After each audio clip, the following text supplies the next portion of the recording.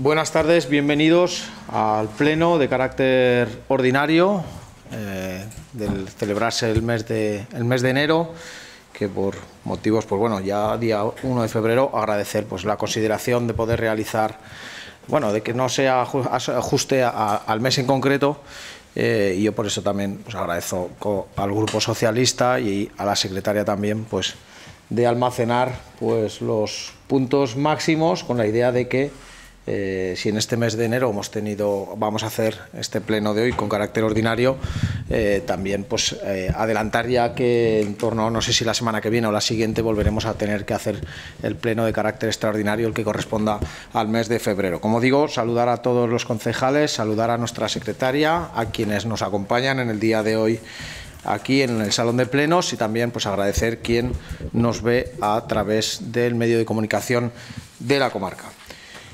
Pasaríamos al primer punto del orden del día. Eh, dice aprobación del acta del 1 de diciembre del 2023. Eh, por recordar, un acta que se fue rechazada, eh, que mandamos modificar, se rectificó, se pasó al Grupo Socialista. No sé si hay alguna aclaración, alguna. Sí, pues tiene la palabra la señora Sánchez. Gracias, señor Herrero. Muy buenas tardes a todos los que estamos aquí hoy, los que nos van a ver por la comarca, a la secretaria por su trabajo. Y nosotros en aquel momento planteamos que no se hiciera ninguna referencia a este tema, pero dado que la secretaria ha trabajado y el tema ha quedado reducido a una mínima expresión, hemos decidido aprobarla. Pero todos somos conscientes de lo que aquí se dijo y cómo se dijo. Nada más. Pues muchas gracias, señora, Sánchez. Si quiere, volvemos a reincidir. Eh, aquí se hicieron unas expresiones, no se ajustaban a la realidad de lo sucedido. Este alcalde ya habló con la teniente coronel. Eh, por tanto, eh, lo que no se hace en todas las actas es poner eh, con puño y letra todo y cada una de las cosas que se escribe, más que nada porque eh, la secretaria o quien redacta esa, esa, esa, acta pues no puede ponerlo todo. Yo creo que esta acta se ajusta a la realidad, eh, se hacía referencia a una tercera persona que no se encontraba y por lo tanto, igual que ocurre en todas las administraciones públicas o en todos los entes públicos, pues se da la opción de rectificar si esa persona no puede, no puede comentar y eso es lo que se ha hecho desde el ayuntamiento con tal también de favorecer y ayudar a esta, eh, esta persona en cuestión. Por lo tanto, eh, pasaríamos a la votación. Eh, votos en contra, abstenciones y votos a favor. Pues por unanimidad de los asistentes se aprueba el punto número uno del día. El punto número dos dice la aprobación del acta del 22 de diciembre del 2023. ¿Alguna aclaración? Sí. Pues tiene la palabra la señora Sánchez. Gracias de nuevo. A ver, para, tenemos un pequeño reparo.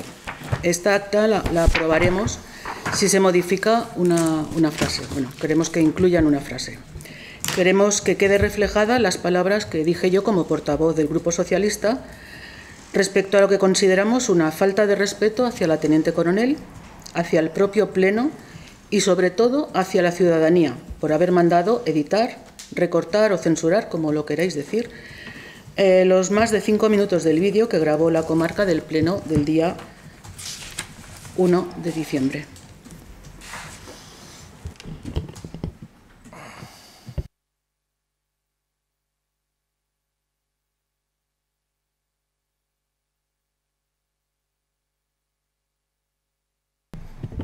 Sí. Bueno, pues digo que, esa es su, opinión del acta del 22 de diciembre. No sé exactamente a qué hace referencia. Vuelvo a reiterar, es normal, es eh, en las administraciones, en cualquier, eh, en las cortes autonómicas, en las cortes generales, eh, que se dé la posibilidad de rectificar si alguna palabra o alguna mm, expresión no es acorde a la realidad. Y por tanto, aquí lo que se ha hecho desde el primer momento es rectificar si algo se ha transcrito sin corresponder a la realidad. Aquí jamás, mientras yo he sido alcalde, soy alcalde, se ha anulado nada del eje central de lo que es el Pleno. Nunca se ha quitado nada, nunca se ha anulado ninguna ninguna eh, parte del vídeo, ninguna acta que ha redactado la técnica pertinente. Por tanto, vuelvo a reiterar, eso eh, usted dice que le faltan unas palabras, es que es normal que ha dicho usted. Es que es normal porque la que redacta las actas no puede escribir todo que, que, pone, porque si no, además de ser un acta de no sé cuántos cientos de páginas, hombre, pues yo creo que no le da, no, no, le da para, escribir todo ello. Yo creo que eh, siempre se ha hecho de la misma forma la redacción de las actas y por tanto eh, yo considero que, que pasaríamos a, la votación de esa, de esa acta. Bueno, sí, eh, sin problema. Eh, tiene la palabra la portavoz del Grupo Socialista. Pues por eso mismo he dicho que quiero que se reflejen las palabras que dije yo. Quiero que queden reflejadas. Y yo dije eso en el pleno anterior. Simplemente quiero que quede reflejada lo que yo dije. También modificamos un acta porque no salió reflejada una referencia que hizo en aquel momento Oscar Luengo. Yo quería que saliera reflejada y se modificó. Simplemente eso. Si yo dije esas palabras, quiero que consten en el acta. Nada más. Pues muchas gracias. Eh, si hay unanimidad en la el que se quiten, no tengo ningún problema, pero se pasa a la votación, se vota y si todos estamos de acuerdo se, incluyen y si no, pues pasaríamos al siguiente, al siguiente punto. Así que eh, votos en contra de la aprobación del acta del 22 de diciembre del 2023. ¿Abstenciones? No, hay que votarlo. Habría que votarlo, ¿no?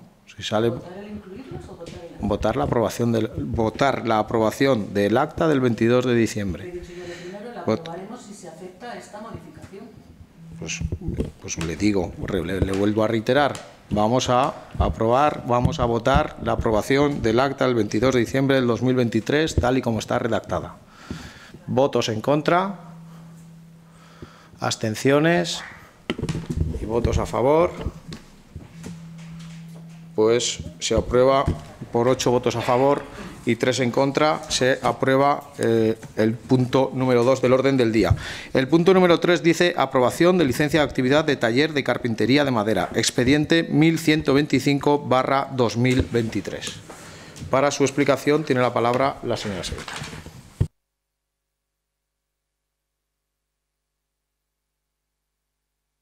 Muchas gracias.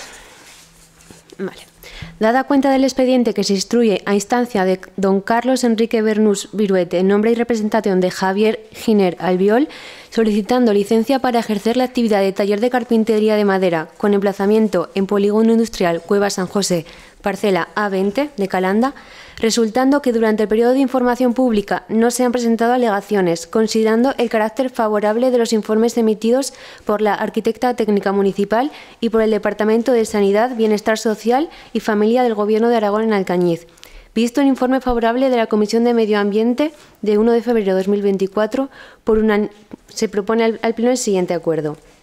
Primero, informar favorablemente la solicitud de licencia ambiental de actividad clasificada para la instalación de la actividad de taller de carpintería de madera, que se desarrollará en Polígono Industrial Cueva San José, parcela A20, con referencia catastral 44051 a 007 003 1 ZH, formulada por don Javier Giner Albiol, según el proyecto técnico redactado por el ingeniero técnico industrial don Carlos Enrique Bernús Virbete, dado que el emplazamiento propuesto y demás circunstancias sí cumplen con la planificación urbanística vigente, las ordenanzas municipales y lo dispuesto en la Ley de Prevención y Protección Ambiental de Aragón.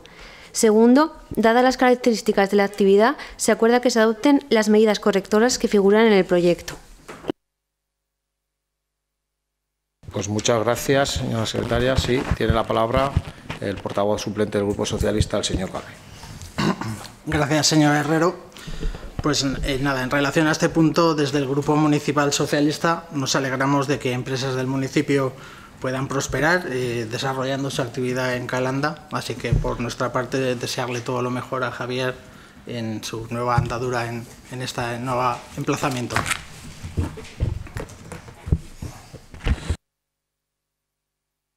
Muchas gracias, señor Galve. Pues bien, eh, yo mm, venimos reiterando pleno casi tras pleno, pues bueno, la generación de, actividad, de nuevas industrias, de nuevas empresas ganaderas que se instalan en, el municipio. Yo creo que eso es una eh, muy buena noticia para el municipio, para nuestro municipio, la creación de, empresas, eh, en este caso el traslado de una empresa de otro municipio a nuestra localidad, siempre es bienvenido como digo, la creación de empleo y sobre todo la generación de actividad y eh, para ah, mover ese círculo virtuoso que es la rueda de la, economía. Así que por nuestra parte también pues eh, felicitar al propietario en cuestión, desearle los mayores éxitos que pues serán los éxitos de todos los calambinos. Pasaríamos eh, a la aprobación de ese tercer punto. Votos en contra, abstenciones, votos a favor. Pues por unanimidad de los asistentes se aprueba la licencia de actividad taller carpintería de madera expediente 1125-2023. El punto número 4 dice aprobación de compatibilidad de miembros de la corporación para desempeñar actividades privadas expediente 1147-2023. Para su explicación tiene la palabra la señora secretaria. Muchas gracias. A la vista de los siguientes antecedentes, solicitud del interesado, provincia de alcaldía, informe propuesta de secretaría y dictamen favorable de la Comisión de Hacienda y Personal, Realizada la tramitación legalmente establecida, se propone al Pleno de la, corporación la, adopción del siguiente acuerdo. Primero, reconocer a doña Silvia Cobomilian la compatibilidad con el ejercicio de la actividad profesional de auxiliar de enfermería para el salud de Aragón, cuyas características son diferentes, contratos esporádicos con distintos tipos de jornada y con las competencias propias de dicho puesto por entender que no se impide o menoscaba el estricto cumplimiento de sus deberes y no se compromete su imparcialidad e independencia, y que no le afecta a ninguna de las circunstancias que hacen incompatible el ejercicio de actividades privadas, recogidas en el artículo 1.3, 11 y 12 de la Ley de Incompatibilidades del Personal al Servicio de las Administraciones Públicas. Segundo, notificar el acuerdo optado a la interesada, el cual deberá presentar la cual deberá presentar declaración sobre el reconocimiento de compatibilidad para su inscripción en el registro de intereses correspondiente. Muchas gracias. No. Bueno, pues yo creo que está dicho. Eh, pues bueno, una de, los, de las concejales, en este caso del Grupo Popular Municipal, eh, que por su empleo eh, de carácter público, pues al recibir unas retribuciones por parte, en este caso, del Ayuntamiento de Calanda en función de la asistencia a los órganos, a los plenos, a las comisiones o incluso a la Junta de Gobierno o por otra tener una percepción por eh, ser delegada de concejalía en este caso, pues bueno, eh, aquí se, se, aprueba la, la compatibilidad ¿no? que se le ha declarado por parte, en este caso, del Gobierno de Aragón para que asuma sus responsabilidades eh, como concejal y pueda pues, percibir las retribuciones por delegación en lugar de por asistencias a los órganos. Así que pasaríamos a la votación. Votos en contra. Abstenciones y votos a favor. Pues por 10 votos a favor y una abstención se aprueba el cuarto punto del orden del día.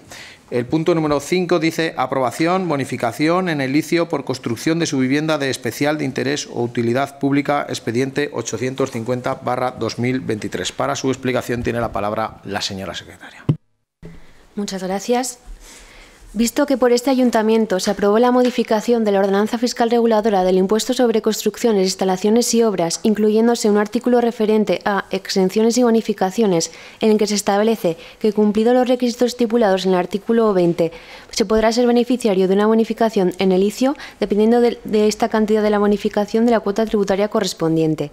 Vista la instancia de fecha 19 de diciembre de 2023 suscrita por doña Nerea Leal Fraga, en la que solicita que por este ayuntamiento se declare la construcción de su vivienda de especial interés utilidad pública, aportando junto a la solicitud toda la documentación requerida para ser beneficiaria de la bonificación anteriormente mencionada. Visto el informe favorable de la arquitecta técnica municipal y considerando que la cuota tributaria que le correspondería pagar a la solicitante sería de 5.445,50 euros en concepto de inicio y que la referenciada de ordenanzas establece una bonificación del 15% a las, a las obras cuya cuota tributaria no supere de 15.000 euros, visto el informe favorable de la Comisión de Hacienda y Medio Ambiente de 1 de Hacienda y Personal de 1 de febrero de 2024, de conformidad con los eh, de conformidad con lo dispuesto en los artículos 47 y siguientes de la Ley del Régimen Jurídico de las Administraciones Públicas, se propone al Pleno el siguiente acuerdo. Primero, declarar la construcción de la vivienda de doña Nerea Leal Fraga de especial interés o utilidad pública. Segundo, conceder a la solicitante una bonificación en el inicio de la obra, que va, a, ejecutar por un total de 1.422,72 euros, tal y como dice el artículo 20, exenciones y bonificaciones de la ordenanza fiscal reguladora del impuesto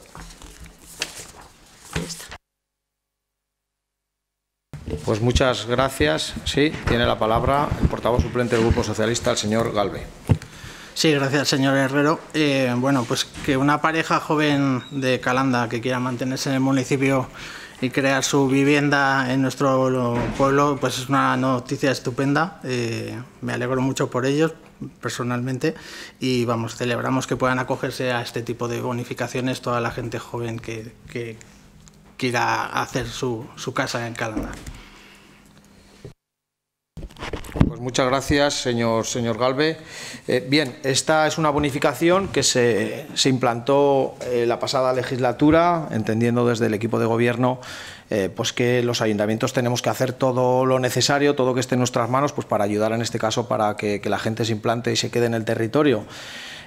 Como bien se ha dicho aquí, es una ayuda, una bonificación de licio para jóvenes de menos de 35 años.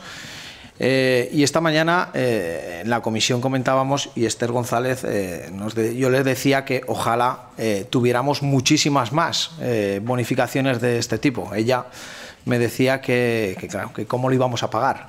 Y bueno, es que ojalá tuviéramos que en vez de una vivienda de un chaval joven de nuestro municipio, en vez de una se hicieran 10 porque el licio corresponde a 5.500 euros cada uno y al final el ayuntamiento bonifica 1.400 euros. Es que eh, lo que ocurre no es que el ayuntamiento tiene que sacar dinero, es que cada vez el ayuntamiento recibiría más eh, dinero. Por tanto, siempre es una medida muy positiva. Al final le haces una bonificación, una ayuda, en este caso de, de 1.400 euros, que buenos son. Y como digo, pues yo creo que es una muy buena noticia que se puso en la anterior legislatura y que, y que bueno, pues representa también pues un poco eh, cuál es el fin y cuál es el objetivo de este, de este equipo de gobierno, de esta corporación, eh, para ayudar a los jóvenes, a la gente que quiere quedarse en el territorio, que quiere vivir en nuestro municipio. Pues bien, ahí yo creo que es el ayuntamiento donde tiene que estar en los momentos puntuales, sobre todo eh, no perjudicar, sino ayudar, en este caso, a los jóvenes que quieran instalarse en la localidad. Así que mi felicitación, mi agradecimiento también a, a, estos jóvenes que han decidido rehabilitar su vivienda y, como digo, ojalá hubiera muchísimos más porque eso sería una muy buena señal para nuestro municipio. Eh, pasaríamos a la votación. Votos en contra, abstenciones, votos a favor. Pues por unanimidad de los asistentes se aprueba el quinto punto del orden del día. El sexto punto dice la aprobación de la modificación de la ordenanza fiscal reguladora del impuesto sobre el incremento del valor de los terrenos de naturaleza urbana, expediente 25 barra 2024. Para su explicación tiene la palabra la señora secretaria. Muchas gracias. Visto que con fecha 10 de enero de 2024 se incoó por la Alcaldía el procedimiento para la modificación de la ordenanza fiscal reguladora del impuesto sobre el incremento del valor de terrenos de naturaleza urbana, visto los informes de Secretaría obrantes en el expediente, visto el dictamen favorable de la Comisión de Hacienda de fecha 1 de febrero de 2024, se propone al Pleno el siguiente acuerdo. Primero, aprobar provisionalmente la modificación de la ordenanza fiscal reguladora del impuesto sobre el incremento de valor de los terrenos de naturaleza urbana en los siguientes términos. Artículo 8. Devengo. El coeficiente a aplicar sobre el valor del terreno en el momento del devengo será para cada periodo de generación. Periodo de generación inferior a un año, coeficiente 0,15. Un año 0,15, dos años 0,14, tres años 0,14, cuatro años 0,16, 5 años 0,18, 6 años 0,19, para 7 años 0,20, para 8 0,19, 9 años 0,15, 10 años 0,12, 11 años 0,10, 12 años 0,9, 13 años 0,9, 14 años 0,9, 15 años 0,9, 16 años 0,10, 17 años 0,13, 18 0,17, 19 años 0,23 y para más de 20 años un 0,40. Artículo 9. Cuota tributaria. La cuota íntegra de este impuesto será resultante de aplicar a la base imponible el tipo impositivo de un 30%. La cuota líquida del impuesto será el resultado de aplicar sobre la cuota íntegra, íntegra, en su caso, las bonificaciones previstas en el siguiente artículo. Artículo 10. Bonificaciones. Se establece una bonificación del 30% de la cuota íntegra del impuesto en las transmisiones de terrenos y la transmisión, transmisión o constitución de derechos reales de goces limitativos del dominio, realizadas a, a título lucrativo por causa de muerte a favor de los descendientes y adoptados, los cónyuges y los ascendientes y adoptantes. Segundo punto, exponer al público el anterior acuerdo mediante anuncio que se insertará en el tablón de anuncios municipal durante el plazo de 30 días hábiles a contar desde el día siguiente a la publicación de dicho anuncio en el Boletín Oficial de la provincia, dentro del cual los interesados podrán examinar el expediente y presentar las alegaciones que estimen oportunas. Asimismo, estará a disposición de los interesados en la sede electrónica de esta entidad. Tercero, considerar, en el supuesto de que no se presentasen reclamaciones al expediente en el, plazo, anteriormente indicado, que el acuerdo es definitivo, en base al artículo 17.3 de la Ley Reguladora de Haciendas Locales. Y cuarto, facultar a la alcaldía para suscribir los documentos relacionados con este asunto. Muchas gracias, señora secretaria. Eh, para la explicación de este punto tiene el concejal eh, la palabra el concejal delegado de Hacienda, el señor Baldovín. Buenas tardes a todos y agradecer tanto a los medios como a las personas que vienen a, vernos su presencia. Eh, comentar que que se ha considerado, mantuvimos, bueno, que se ha considerado eh, conveniente la modificación de la ordenanza fiscal reguladora del impuesto sobre la plusvalía e incremento de valor de los terrenos de naturaleza urbana. Mantuvimos una reunión con la registradora de la propiedad de Alcañiz debido a que los propios los costes propios de esta, eh, de, esta, actividad que tenemos ahora están totalmente desfasados, hasta el punto de que los mencionados costes producían no solo un ingreso para la corporación, sino un desembolso para el propio ayuntamiento. Se propone actualizarlo en sintonía con las poblaciones de la zona, tomando los mismos datos de referencia y sobre esos datos que se están aplicando en poblaciones próximas o para poder compararlas, el ayuntamiento va a hacer una bonificación del 30%. Únicamente era el comentar este, este apartado. Gracias, señor Baldovín. Sí, tiene la palabra el portavoz suplente del Grupo Socialista, el señor Valde. Gracias, señor Herrero. Eh, bueno, eh, relativo a este punto, como ha comentado mi compañero Baldoví, eh, lo que estamos eh, poniendo aquí en, debate es la, eh, proponer la actualización de la ordenanza que regula el impuesto sobre el incremento de valor de los terrenos de naturaleza urbana. como no simple manejar algunos de los términos que aparecen en la ordenanza, queremos poner un ejemplo para ilustrar la situación actual y la que se propone. Entonces, por ejemplo, en, en el caso de una vivienda de, de valor catastral de 200.000 euros y 6 años, por ejemplo, eh, el porcentaje de bonificación actual estaba fijado en el 95%, y entonces sí, esto suponía una tasa impositiva eh, de 590 euros. El mismo ejemplo con la tasa de bonificación que se propone ahora del 30%, pues eh, es en esta vivienda de valor catastral de 200.000 euros y 6 años de antigüedad, y con este 30% de bonificación el, el, interesado, el particular, tendría que pagar 7.980 euros. Es una diferencia cuanto menos significativa. Esto es solo un ejemplo concreto, pero sería la, misma situación para otros inmuebles con otro valor y otra antigüedad, según los coeficientes y porcentajes que ha explicado la, señora secretaria. Es evidente que con la situación actual de la ordenanza, pues una bonificación del 95% supone una situación muy ventajosa para el particular y por lo que comentan, pues eh, eh, no tan ventajosa para el ayuntamiento. Gravosa, pues gravosa para el ayuntamiento. Eh, ya que el importe que se pagaba entonces era testimonial. Pero con la bonificación del 30% la cosa ya cambia. El importe del impuesto asciende hasta una cantidad ya significativa. La diferencia es muy notable y ya son cifras a tener en cuenta por cualquier ciudadano. La pregunta es por qué fijar la bonificación al 30%. estamos en lo de siempre. Estamos de acuerdo que hay que revisar el porcentaje de bonificación, pero ¿por qué no un 50% o un 60%? Por ejemplo, ¿por qué los ciudadanos de Calanda tienen que perder esta situación de privilegio, digamos, que gozan en la actualidad? Solo estamos, solo estamos haciendo que poner trabas a nuestros vecinos impuesto tras impuesto. Eh, ¿Se ha cuantificado el impacto de esta medida? ¿De qué cantidad de ingresos ah, al año estamos hablando? ¿O a qué número de ciudadanos puede afectarles la medida? Porque si estamos hablando de, de habas contadas, mejor dejarlo todo como está. ¿O acaso no es más que otra medida para intentar sacar ingresos de donde se pueda? No sé, me gustaría, nos gustaría que nos lo explicaran.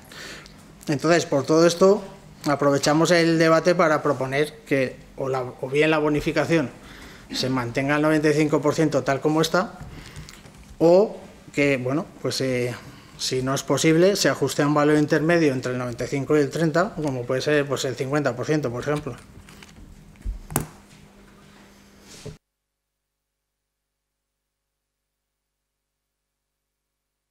Sí, gracias, señor Galvez. Sí.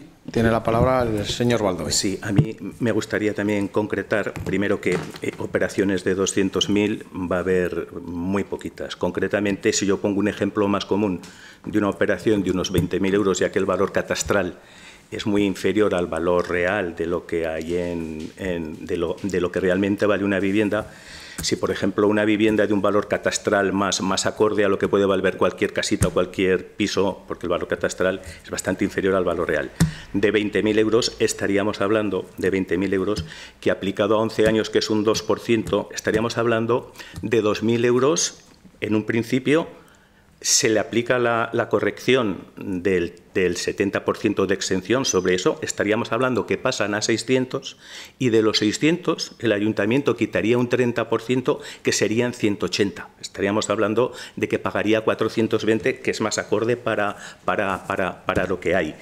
Eh, que sabemos que, sí, que, ha habido un, un cambio importante de lo que se cobraba a lo que vamos a cobrar. Pero hay que tener en cuenta que todos estos años que nos está produciendo cada transmisión, porque cuando hay un beneficio, que, también está regulado que a partir del año pasado, antes se cobraban impuestos municipales de plusvalía, hubiera o no un, rendimiento propio o un beneficio. Ahora, por ley, ya si no hay incremento, no hay, no hay, no hay cobro de plusvalía. Pero en este caso, concretamente, eh, nosotros tenemos que recuperar incluso lo que tenemos pendiente de pagar a registro, que no nos lo han girado todavía, que es muy superior a lo que nosotros hemos recaudado.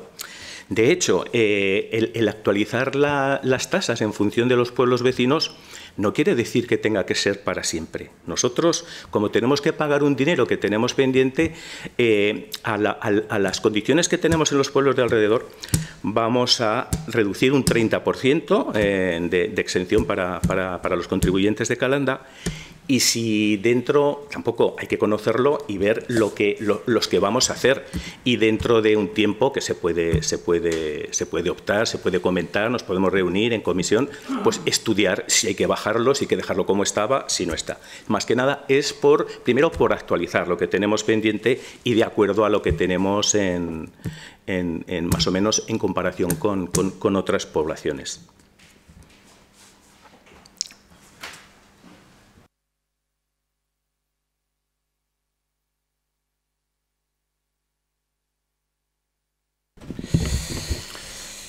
Bueno, y entonces esa deuda que, tiene, que tenemos es con la registradora de Alcañiz.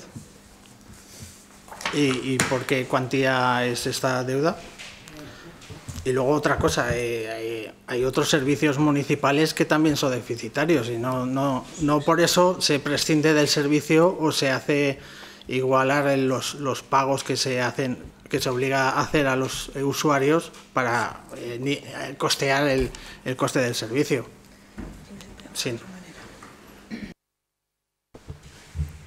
Gracias, señor Galve. Sí, si Sí, sí, quieres eh, por, por finalizar el debate, cierro. Vale, eh, sí, claro, cada, cada, cada impuesto se puede, se puede tener en cuenta tanto de cosas que se tocan, cosas que no se tocan.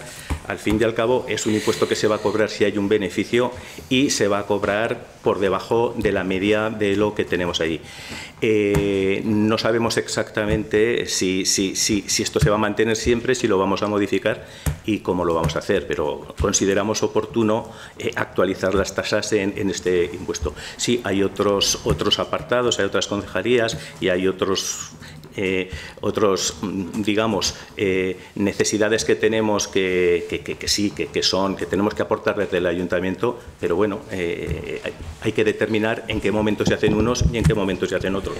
Nosotros hemos considerado conveniente que esto había que actualizarlo en función de lo que tenemos y por eso lo, lo llevamos a pleno. Gracias, señor Baldovín. Sí, pues ya sí, para cerrar el debate. Eh, pues bien, este, este es otro, otro entuerto que nos dejaron el anterior equipo de gobierno antes del año 2019. El impuesto de la plusvalía de terrenos no es obligado. O sea, hay municipios que lo aplican y otros municipios que no lo aplican. Si de verdad el anterior equipo de gobierno quería beneficiar a los habitantes de la, de la localidad, directamente no aplica el, impuesto. Lo que no se puede hacer es aplicar una bonificación que solo los costes de tramitación de la registradora, en este caso de la registradora de Alcañiz, suponen mayor coste al ayuntamiento de lo que recibe, de lo que recibe el propio ayuntamiento. Por lo tanto, o una de dos, o se suprime el impuesto o se adecua a lo que tienen algunos municipios. Digo algunos municipios porque lo lógico es que ese impuesto a la plusvalía se aplique el 100%. Nosotros, bueno, ya lo ha dicho aquí, se va a hacer una bonificación del 30% porque lo consideramos. Eh, como digo, yo no puse ese impuesto. Yo eh, el año pasado eh, tuvimos una, bueno, nos llamó la registradora de Alcañiz, justo cuando estaba la anterior secretaria, nos pidió vernos y nos trajo pues una nota que casi llegaba a los 10.000 euros que tenía de deuda el Ayuntamiento de Calanda con el registro de Alcañiz por toda la tramitación que hace la registradora, en este caso de la, eh, del impuesto de la plusvalía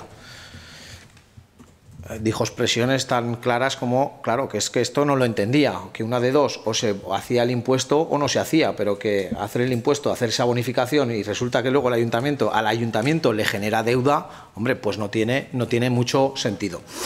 Eh, esto fue justo antes del verano y hace solo tres semanas o cuatro semanas volvió, eh, pues ven, a pedirnos una reunión, pues eh, el, el, tema es que había pasado, que se había dejado, bueno, la anterior secretaria ya no estaba, pues nosotros seguimos a nuestros trabajos, no le habíamos notificado nada y nos pidió vernos, pues porque ella también era consciente de que había una nueva secretaria. Por lo tanto, como digo, existe una deuda generada el ayuntamiento con la registradora de, la, de Alcañiz que hay que eh, saldar. Aquí eh, se ha dicho cosas que, que, nos ajustan a la realidad. El señor Galve dice, bueno, es que si un, eh, un terreno o una vivienda o un bien tiene un valor de 200.000 euros, no, no. Un incremento tiene que es cuando lo compró o cuando lo adquirió ese bien, bien por herencia o bien porque lo compró en su día y cuando lo ha vendido.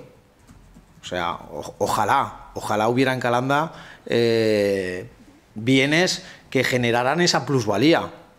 Es más, muchos de ellos, muchos de los terrenos de las compraventas que se hacen, eh, pues se hacen a lo mejor incluso por el mismo importe o incluso por, el, por un importe mucho menor. Por lo tanto, hombre, ojalá hubiera, eh, estuviéramos en un Madrid y se generaran plusvalías de ese, de valor. Querría decir que, que el municipio pues, eh, pues tiene, eh, pues no, no, seríamos, seguramente no seríamos 4.000 habitantes, seríamos muchísimo más. Como digo, lo que tenemos que hacer primero es adecuar ese impuesto de la plusvalía primero a saldar la deuda, en este caso con la registradora de Alcañiz. Dice, bueno, es que no hemos hecho, no tenemos datos, sí que tenemos datos. Eh, al año, más o menos, en el municipio de Calanda se realizan unas 20, 25 transacciones, incluso algún año más. En años de pandemia hemos tenido menos, pero bueno, más o menos. Que tengan plusvalía de todas esas transacciones, estamos hablando de 5 o 6. De 5 o 6. Por lo tanto, Eh, ¿Cuánto podemos generar? Hombre, pues al año podemos generar pues unos 1.500 con esa bonificación que decidimos hacer eh, desde el Ayuntamiento de Calanda, hombre, pues a lo mejor unos 1.500, 1.600 euros. ¿Con qué idea? Hombre, pues por lo menos devolverle, aunque sea poco a poco, aunque se lo paguemos, pero por lo menos que, que no genere eh, un problema a este ayuntamiento. Yo creo que eso es, es lo lógico y es, eh, y es lo normal. como, mm, o sea, si de verdad se quiere, si de verdad el gobierno anterior quería ayudar a los, a los habitantes del municipio, oye, se quita, no se pone el impuesto, no es obligado, pero si lo tienes, lo que no puedes hacer es bonificar, en este caso el 95% y generar deuda por otro lado, porque al final, al cabo, que lo pague el vecino, eh, bien, pero si lo paga el ayuntamiento lo está pagando otra vez el vecino. No es que lo pague el vecino, es que lo pagan todos vecinos. Por lo tanto, no nos parece justo desde este ayuntamiento que una compraventa que hace el señor X, que le genera un incremento del valor catastral, que es mucho menor del valor de la compraventa que haga de ese, de ese, de ese bien, pues por lo menos que sea a través de ahí lo que se recaude y lo que se genere para solaviar una situación que, como digo, yo no, no, la he generado, yo me la he encontrado y es verdad que hasta que la eh, registradora, en este caso, no nos pasó, no, no, vino a entrevistarse con nosotros, pues yo, nosotros tampoco éramos conscientes de ello. Como digo, eh, eh, esto es un, impuesto que estaba establecido ya, que no lo pone este ayuntamiento, que no lo pone el equipo de gobierno y lo que hemos hecho también a través de la registradora de Alcañiz es, oye, cuál es la situación que tienen otros municipios, cómo hacen esa gestión esos municipios, tienen un convenio, eh, la mayoría pues paga la plusvalía el 100%, pues nosotros hemos considerado de hacer ese 30% porque poco a poco queremos ir recuperando una situación anómala que tenía este ayuntamiento y que nosotros no conocíamos, por lo tanto, hombre, aquí se dicen muchas cosas. Eh, eh, si se pues si no se deja como está, no, es que si lo dejo como está, como está, al año que viene, en vez de tener casi 10.000 euros de deuda, tendremos 11.500 euros de deuda. Entonces hay que tomar alguna decisión. ¿Cuál?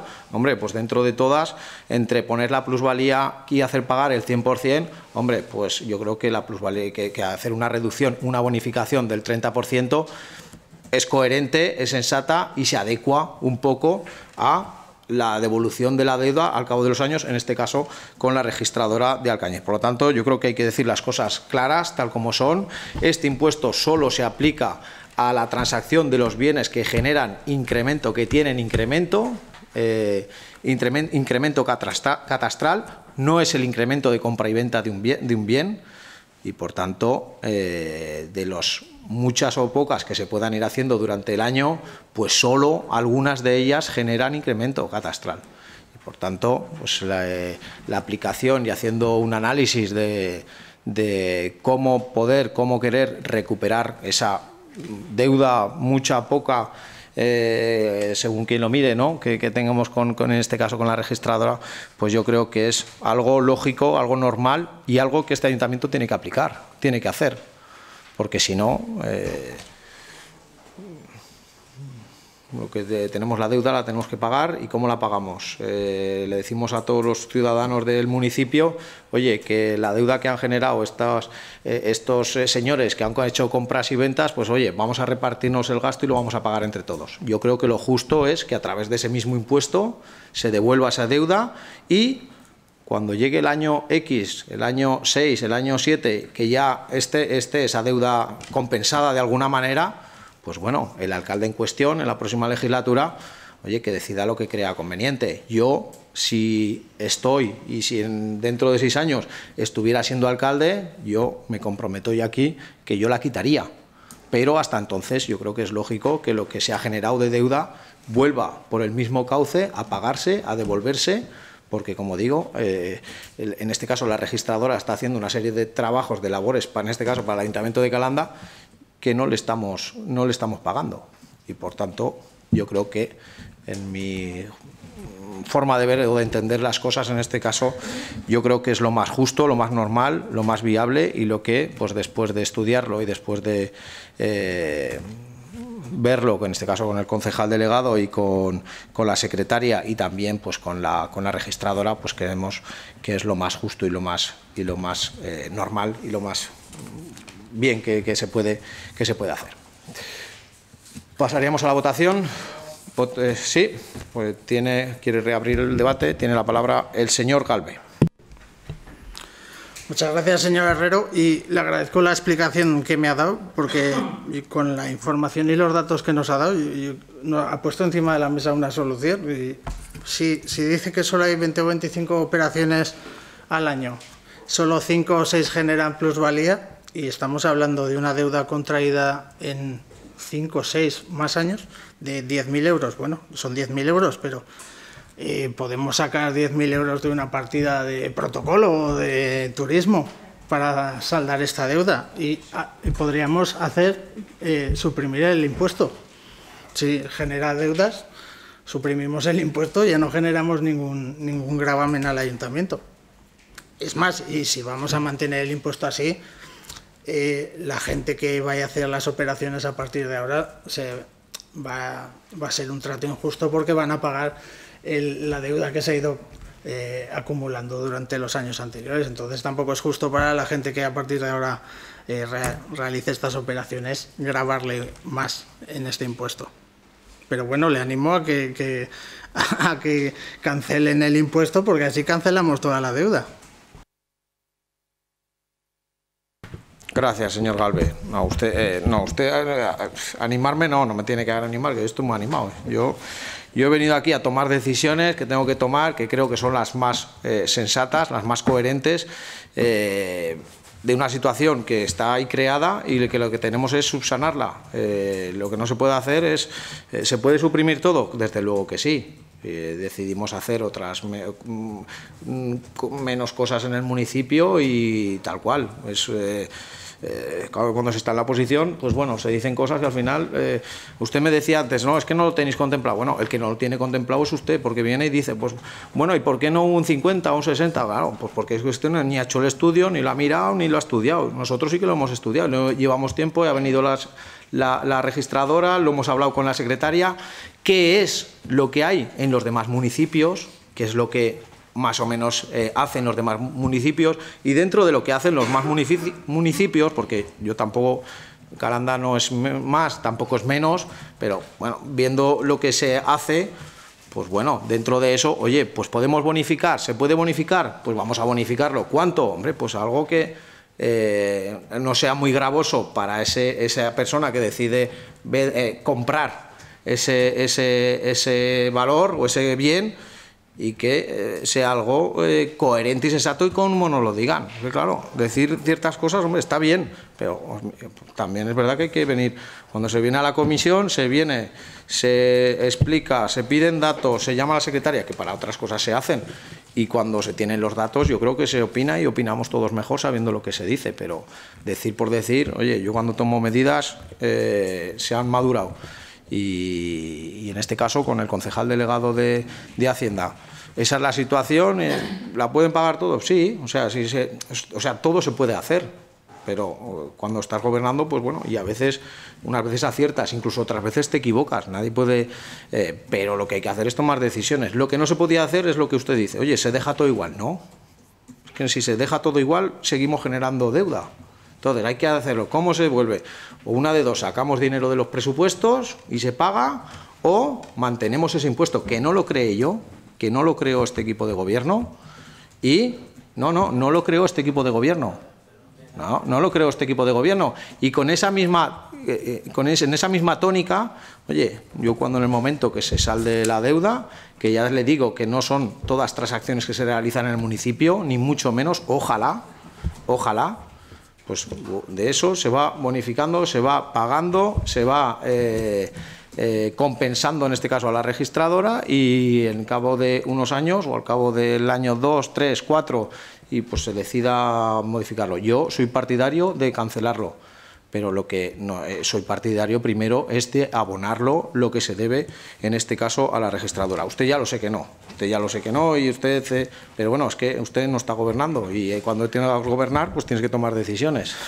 Y todas también entiendo que no le pueden parecer bien, pero bueno, esta es la que en este caso hemos adoptado porque creemos que es la lógica, la normal, la más coherente y la más sensata que tiene que adoptar este ayuntamiento. Pasaríamos a la votación. Votos en contra. Abstenciones. votos a favor, pues por ocho votos a favor y tres en contra se aprueba el punto número 6. El punto número 7 dice ratificar la resolución de alcaldía sobre la evaluación de impacto ambiental ordinaria al proyecto instalación de una planta de tratamiento de residuos expediente 1265-2023. Para su explicación tiene la palabra la señora secretaria. Muchas gracias. Visto el oficio del Instituto Aragonés de Gestión Ambiental de fecha 27 de noviembre de 2023, por el que se solicita al Ayuntamiento de Calanda el pronunciamiento expreso sobre la sostenibilidad social del proyecto cuyo promotor es Árido Seba SL para la instalación de una planta de tratamiento RCD residuos de construcción y demolición vinculada a la planta de tratamientos de áridos existente, así como la necesidad de someter o no a, a evaluación de impacto ambiental ordinaria Visto asimismo el informe favorable de la arquitecta técnica municipal y estudiada la resolución de alcaldía en fecha 20 de diciembre de 2023, en la que se declara la sostenibilidad social de dicho proyecto y la innecesariedad de someter a evaluación de impacto ambiental ordinaria, pudiéndose tramitarse como evaluación de impacto ambiental simplificada, se propone el siguiente acuerdo. Primero, rectificar la resolución de alcaldía de 21 de diciembre de 2023. Segundo, remitir al Instituto Aragones de Gestión Ambiental el informe del Pleno de la Corporación. Muchas gracias, señora secretaria. ¿Alguna no? Eh, pues bien, eh, bueno, esto es una solicitud que se ha hecho por parte de un propietario, en este caso un vecino del municipio de Calanda, eh, en este caso, pues eh, quien tiene la planta eh, de la gravera, por la que todos conocemos, para crear una planta pues de residuo de, tratamiento del residuo por demolición, el residuo el que generamos cuando derruimos una vivienda o de una casa y demás. Eh, la verdad es que es una muy buena noticia para todos eh, los profesionales eh, del sector de la construcción del municipio de Calanda, porque pues eso, cuando hacen un derribo, pues todo ese, todo ese, toda esa demolición pues la tenían que llevar a otra planta de Alcañiz o de, creo que está en Puig Moreno, la que hay otra también, pues para, pagar la tasa y para devolverlo allí. Yo creo que, que al final que haya una en el municipio beneficioso para, para, todos, porque también no es menos cierto que nos hemos encontrado últimamente con que parte de ese cascote o de, esos derribos pues estaban en algunas lomas eh, privadas o incluso también en los caminos eh, tirados allí. Yo creo que por imagen y por higiene del municipio de Calanda es importante que, eso no, no, ocurra, porque también, a su vez, eh, el SEPRONA también presiona, en este caso, al Ayuntamiento de Calanda eh, con denuncias porque eso no está permitido y nosotros tenemos que hacer, como digo, un control. Un control que, ya se, realizó una coordenanza en, el, en, el, en, uno de los anteriores plenos en el que se estableció, eh, pues por ejemplo, en el cuando van a hacer una licencia con el Ayuntamiento de Calanda, pues tienen que presentar eh, el justificante de dónde han tirado ese, ese escombro y así se le, se le devuelve pues esa, esa fianza que depositan en el Ayuntamiento de Calanda. Y como digo, pues bueno, la idea entre todos es que, el municipio esté limpio, que los aledaños estén limpios y bueno, gracias a personas de carácter privado como, como el que hemos hablado en cuestión, pues Calanda, si no pasa nada, pues en el futuro pues tendrá una planta de tratamiento de residuos de demolición que será, como digo, pues muy beneficiosa, primero para los profesionales del sector de la construcción y luego, qué duda cabe, que para todos los habitantes del municipio que nos gusta pues tener el municipio y los, y los aledaños eh, limpios. Pasaríamos a su votación. Eh, no hay votación porque es ratificar o sí, se, votación. vale. Vale, pues, pues entonces pasamos a la votación. Votos en contra, abstenciones, votos a favor pues por unanimidad de los asistentes se aprueba el punto número 7. El punto número 8 dice dar cuenta del decreto de alcaldía por el que se aprueba excedencia por pase a servicios especiales de Yolanda Vallés, expediente 900-2023. Para su explicación tiene la palabra la señora secretaria. Muchas gracias. Voy a pasar a dar cuenta de la resolución de alcaldía. A la vista de los siguientes antecedentes, instancia de solicitud del interesado, instancia parte provincia de alcaldía, informe de secretaría, vista la concurrencia de los requisitos para, para el pase a la situación de servicios especiales y en virtud del artículo 21.1 de la Ley Reguladora de Bases del Régimen Local y del texto refundido de disposiciones legales vigentes en materia de régimen local, aprobado por Real Decreto Legislativo 781-1986, resuelvo declarar al a la funcionaria doña María Yolanda Valles Cases en situación de servicios especiales para el desempeño del puesto de Directora General de Energía y Minas del Departamento de Economía, Empleo e Industria del Gobierno de Aragón. Segundo, podrá permanecer en esa situación mientras se mantenga la relación de servicios especiales como Directora General de Energía y Minas del Departamento de, Economía e Empleo e Industria del Gobierno de Aragón, o bien se ocupe en propiedad la plaza de Secretaria de Intervención, dado que doña Yolanda Vallescasas la ocupaba de forma interina. Producido el cese, deberá solicitar el reingreso al servicio activo, debe solicitarse en el plazo de un mes desde que finalice la la causa de la situación. Si no se solicita de oficio, se pasará a excedencia voluntaria. Tercero, dar traslado de esta resolución a la interesada y al servicio de personal para su conocimiento y efectos. Cuarto, dar cuenta al Pleno en la próxima sesión que se celebre. Pues muchas gracias, señora secretaria. Yo creo que es dar cuenta, ¿no? Simplemente, eh, pues pasaríamos al, punto número 9. Dice, dar cuenta del cambio de representantes del Grupo Municipal Socialista en la Comisión de Hacienda y Personal. Para su explicación tiene la palabra la señora secretaria. Vale, eh, se presentó instancia por doña Victoria Sánchez eh, para que se cambiara a los, representantes de la Comisión de Hacienda. Antes estaba como principal Esther González Villena y ahora eh, pasará a ser principal Victoria Sánchez Boadera y de suplente pasará a Esther, González Villena, que estaba antes Victoria Sánchez Boadera. Simplemente es dar cuenta del cambio que no hace, no hace falta aprobarlo en pleno. Gracias, señora secretaria. Y el, punto número 10, el siguiente punto, dice aprobar la moción presentada por el Grupo Municipal Socialista en relación con el trasvase del Ebro. Sí, eh, sí tiene la palabra eh, la portavoz suplente del Grupo Popular. Gracias, señor alcalde. Eh, como portavoz suplente ante la moción presentada por el Partido Socialista en relación al trasvase del Ebro, nosotros como Grupo Popular solicitamos la inclusión de una, moción por vía de urgencia.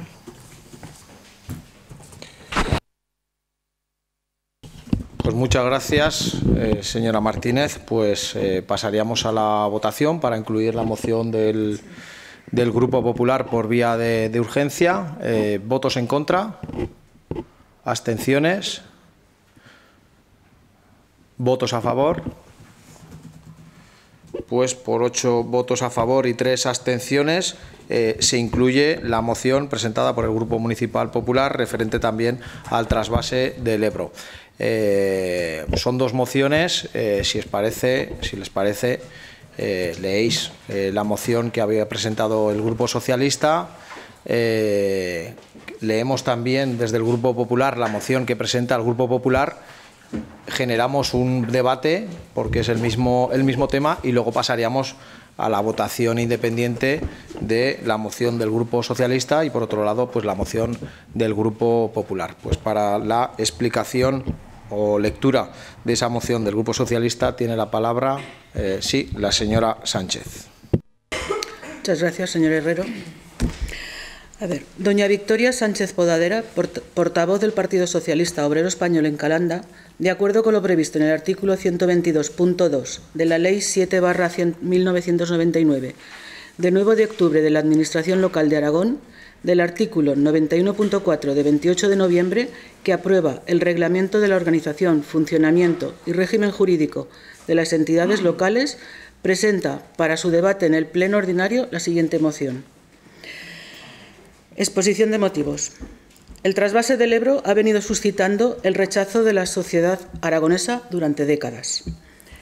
Dicho rechazo se sustenta en la falta de agua en una región tan árida como es Aragón y toda la cuenca del Ebro, y en que todavía queda mucho potencial de uso de agua en Aragón. Por ello, el propio Estatuto de Autonomía de Aragón recoge la denominada Reserva Hídrica para el desarrollo presente y futuro de nuestra comunidad autónoma. Además, los efectos del cambio climático también aconsejan mirar desde una nueva perspectiva todo lo que tiene que ver con la regulación y la gestión del agua. El mayor riesgo para Aragón, en este sentido, vino a través del Plan Hidrológico Nacional del Gobierno de José María Aznar, que contemplaba un trasvase del Ebro hacia el levante de 1.050 hectómetros cúbicos al año y del que hasta se puso la primera piedra.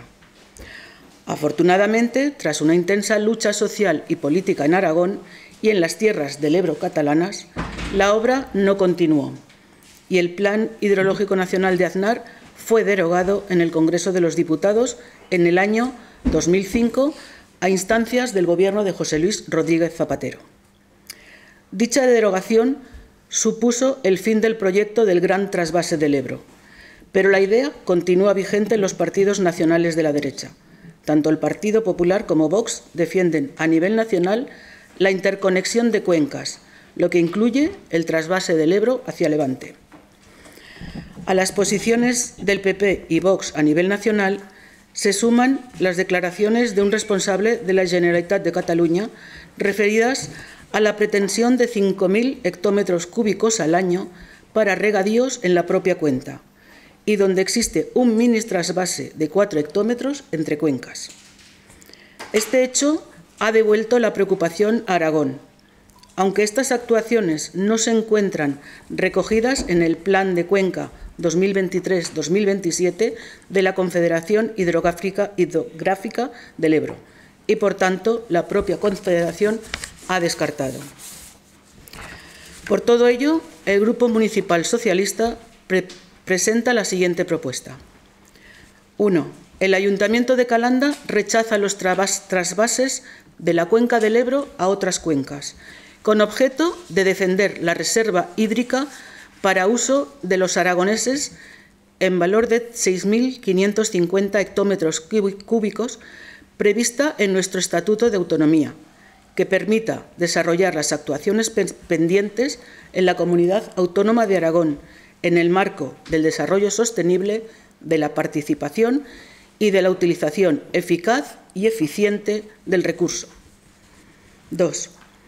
El Ayuntamiento de Calanda insta a la Confederación Hidrográfica del Ebro a desarrollar las actuaciones previstas en el Plan de Cuenca 2023-2027 y a no desarrollar ninguna otra que no esté amparada por el propio plan. 3.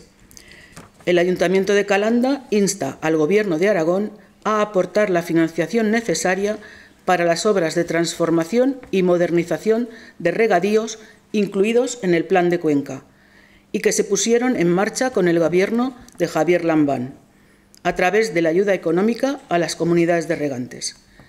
Estas actuaciones incluyen sectores en Monegros 2, Bárdenas 2, Cibán o Sarrión, entre otros.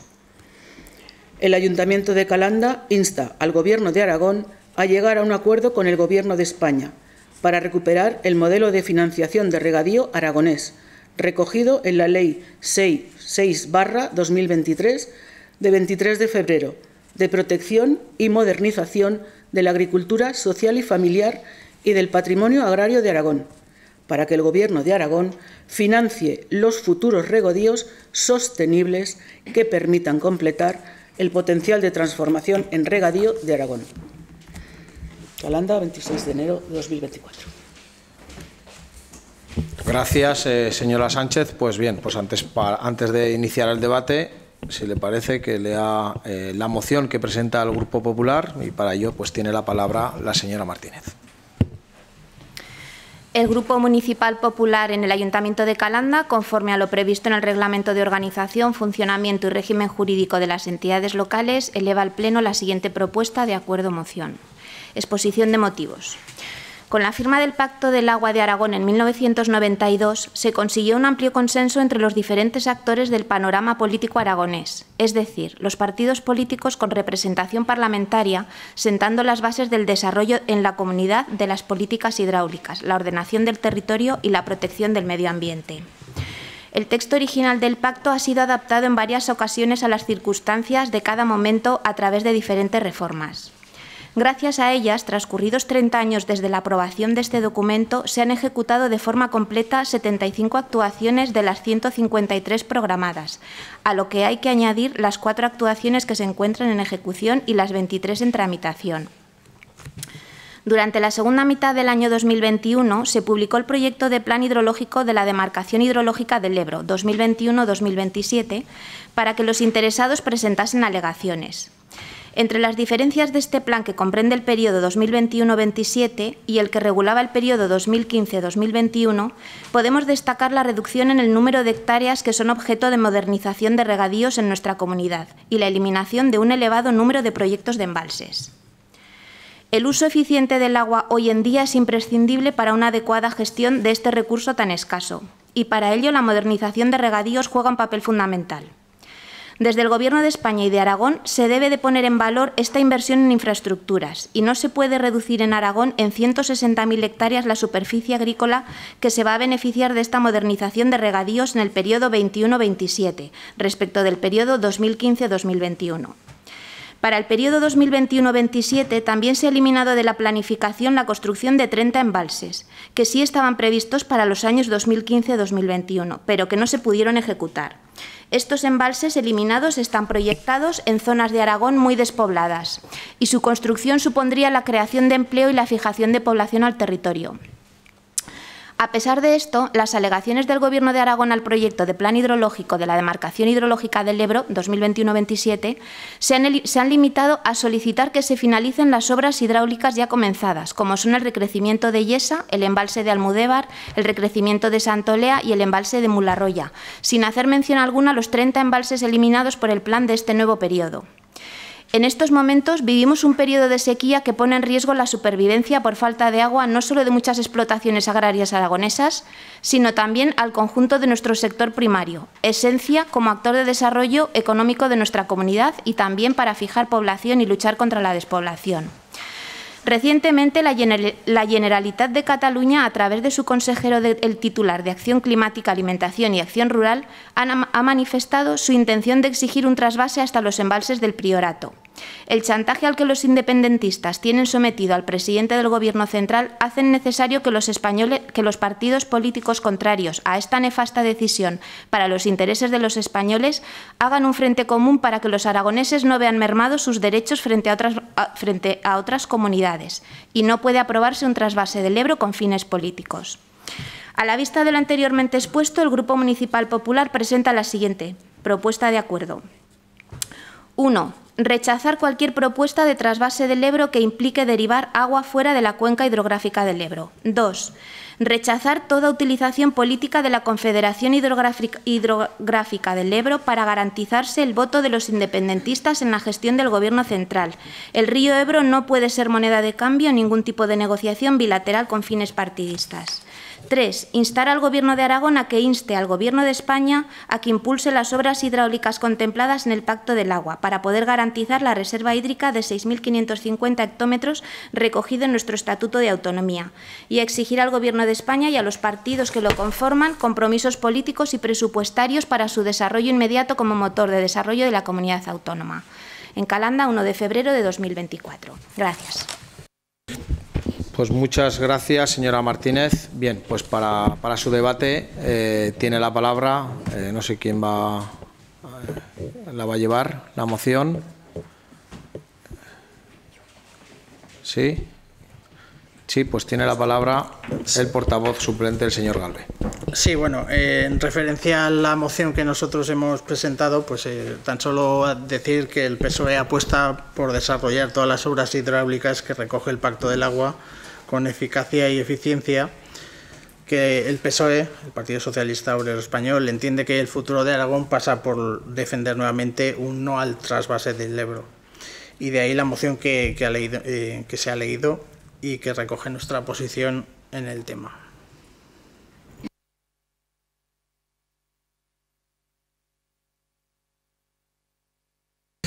Pues muchas gracias, eh, señor Galve. Pues bien, eh, yo llevo ahora cuatro años de, alcalde. La verdad es que eh, creo que, los calandinos eh, nos eh, trajeron aquí pues, para hablar de los problemas y las posibles soluciones eh, que necesita este municipio. Como digo, a veces se hacen con acierto, otras veces se hacen con menos acierto, pero lo que sí que no he hecho durante estos cuatro años ha sido pues traer eh, mociones, eh, solicitar iniciativas que se rigen en otras administraciones, que para eso están los parlamentarios nacionales, o yo en este caso, pero en mi, en mi tarea también en el Parlamento, pero no, creo, no en el Ayuntamiento, o también los parlamentarios autonómicos. Yo creo que, como digo, mm, a mí me gustaría, es legítimo, ¿eh? por otro lado, o sea, quiero decir que, están en su perfecto derecho de poder traer aquí eh, política nacional, pero yo casi preferiría ceñirme a lo que es la política eh, local y dejar que cada uno en su administración haga la labor que les corresponda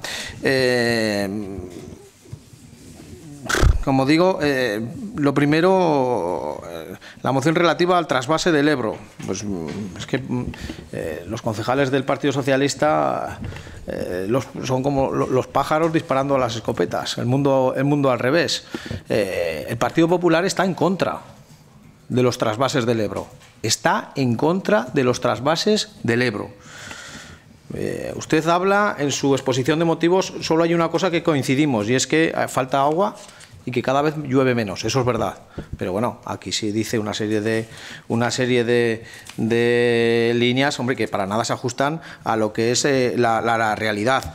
Como digo, el Partido Popular está en contra de los trasvases del Ebro y todo viene porque el eh, conseller de la Generalitat eh, catalana, el señor Mascort, el conseller de Acción, Clima, de acción Climática, eh, pues solicita, ante la sequía que hay, eh, sobre todo de Cataluña, solicita un trasvase a los embalses del Priorato. Un conseller de Esquerra Republicana, independentista, que eh, Sánchez sabe con quién gobierna Sánchez, con independentistas. ¿Y sabe qué está haciendo Sánchez? Pues para mantener su legislatura, pues apoyarse y claudicar en todo lo que los independentistas, los de Bildu, los comunistas le piden, porque si no su legislatura se, finaliza. Y entonces, eh, si ahora el conseller de Esquerra Republicana le solicita al Gobierno de España que haga un trasvase por una necesidad, ojo, por una necesidad, ¿usted qué cree que va a hacer? Estamos eh, en política nacional aprobando la amnistía, ayer se rechazó, me juego con cualquiera que en un mes estaremos hablando de totalmente lo contrario. Cuando pasen las elecciones gallegas, esa amnistía será aprobada porque de lo contrario se acaba la legislatura. Y por tanto, Sánchez ya lo ha demostrado, ya lo ha demostrado, está claudicando ante esos independentistas, ante todo lo que le piden, y al final vamos a ver cómo se va a aprobar la amnistía, cómo va a haber españoles de primera y de segunda, vamos a ver cómo eh, se condonan 15.000 millones de euros a, los, eh, a, Cataluña en detrimento de, en este caso, de los turolenses y de todo el resto de España. Y eso lo vamos a ver. Pero es que, eh, claro, eh, usted dice, va a aprobar y estamos, vamos, se van a aprobar todas las obras del, del Pacto del Agua. Eso no es verdad. Eso no es verdad.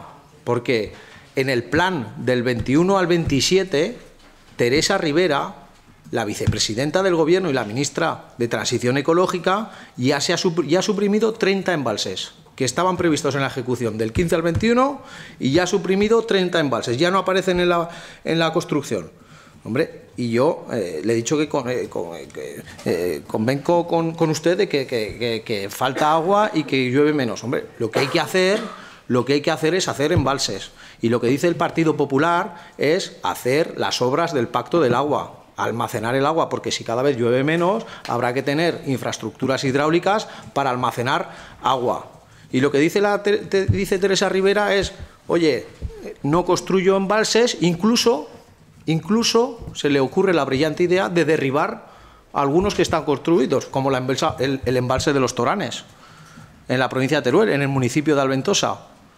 Oye, después de 75 años, como ya no eh, Iberdrola ya le ha cumplido la concesión de la generación de electricidad, en vez de renovar la concesión o sacar la subasta, decide derribar un embalse. Y yo creo que no estamos en momentos ni mucho menos para hacer.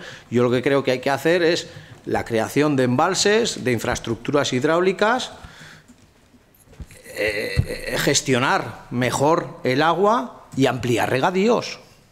Ampliar regadíos también, porque si no, en las zonas de secano ya vemos lo que ocurre.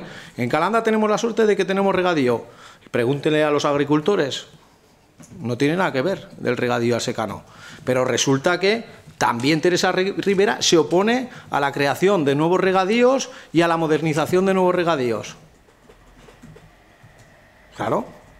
Oiga, y si no, pregúntenle a los agricultores de Calanda, que se ha hecho una propuesta de regar el monte de Andorra y ya sabemos que Confederación Hidrográfica del Ebro se ha negado. ¿Sabes quién gestiona la Confederación Hidrográfica del Ebro? Teresa Rivera la ministra de, España, la vicepresidenta del Gobierno. Pues bien, ya se oponen. Aquí se, hizo, aquí se hizo una obra muy importante, que es el, recrecimiento del pantano de Santolea. Pues, ¿sabes cuándo se, ¿sabe cuándo se hizo el pantano de Santolea? Todavía está acabando la ejecución, todavía están con los, eh, con los llenados y, en fin, los análisis eh, antes previos para el llenado final. Pues esa obra empezó a finales del 2018 con los presupuestos de Mariano Rajoy. Y ahora, gracias a Dios, está finalizando. ¿Sabes lo que pasa con esa obra? Hombre, pues que eh, consolidamos todos los regadíos del canal Calanda-Alcañiz y Calanda, por suerte, y la zona de Castelserás y la cuenca del Guadalope, pues gracias a eso, pues oye, aquí la gente se queda en el municipio, genera actividad, genera riqueza, crea melocotón, pero como digo, solicitamos, se solicitó por parte eh, y en colaboración también de este ayuntamiento para eh, la, creación de nuevos regadíos en el municipio y ya tenemos que mientras esté el gobierno de Sánchez no se van a poder hacer.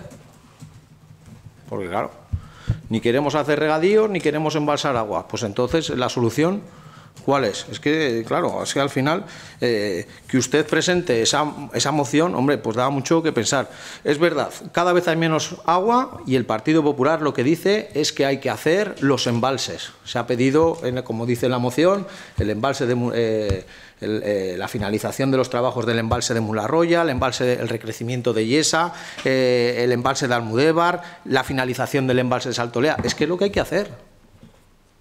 Pero si resulta que viene un gobierno que dice que, todo el ecologismo está muy bien y que es lo mejor del mundo, pero en contra ni nos deja aumentar regadíos, aunque sea de forma sostenible y con las mejoras que, se están haciendo, hombre, es que eh, es pedir una cosa y hacer la contraria. Y eso yo creo que eh, eso yo creo que, venir a este pleno a decir eh, que el gobierno de Sánchez, el gobierno de Sánchez tiene un problema.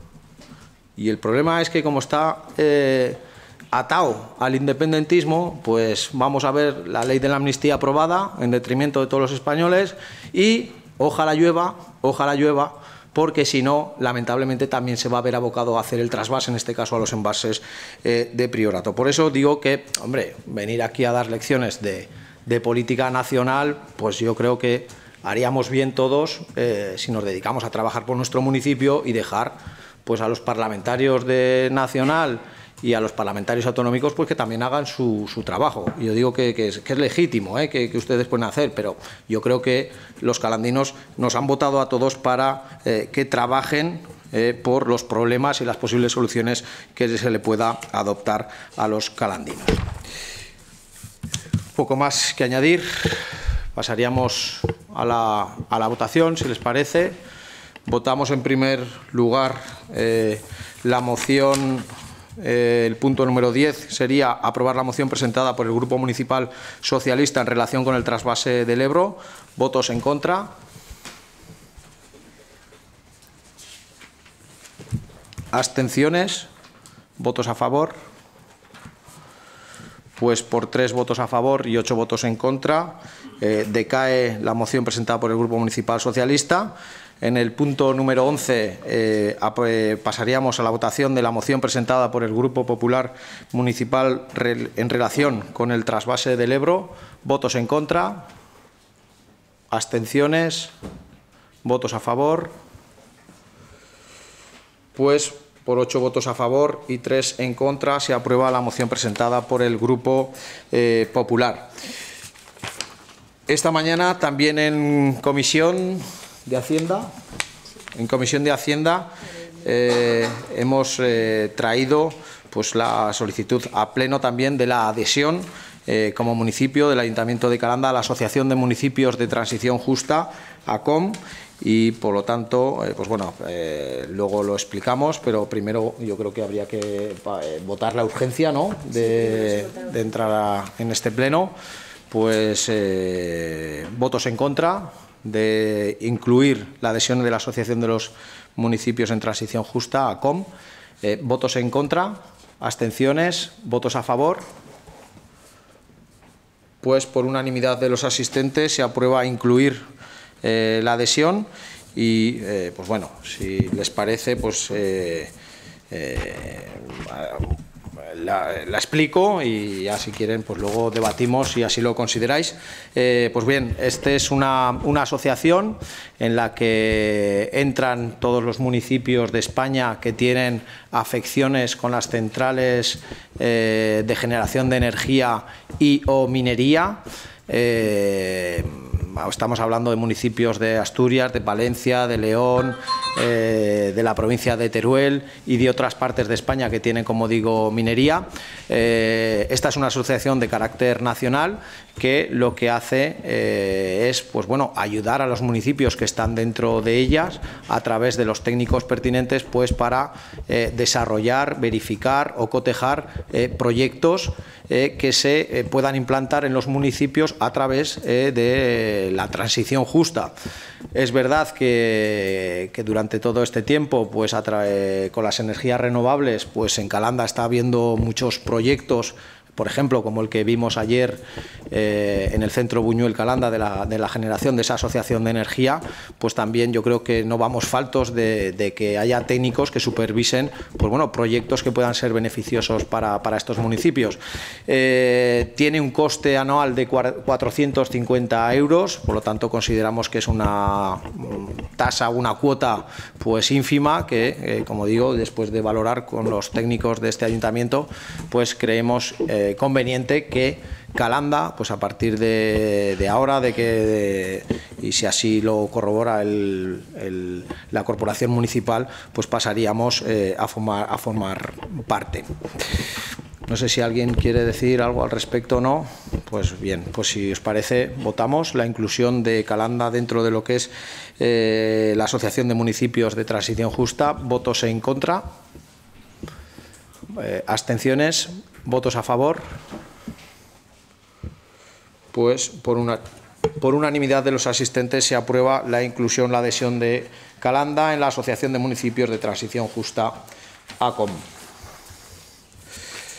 Eh, seguimos con el pleno eh, en actividad de control. El punto número bueno sería el punto el punto número 13 sería resoluciones de la alcaldía se mandaron por correo a todos los concejales alguna aclaración, alguna...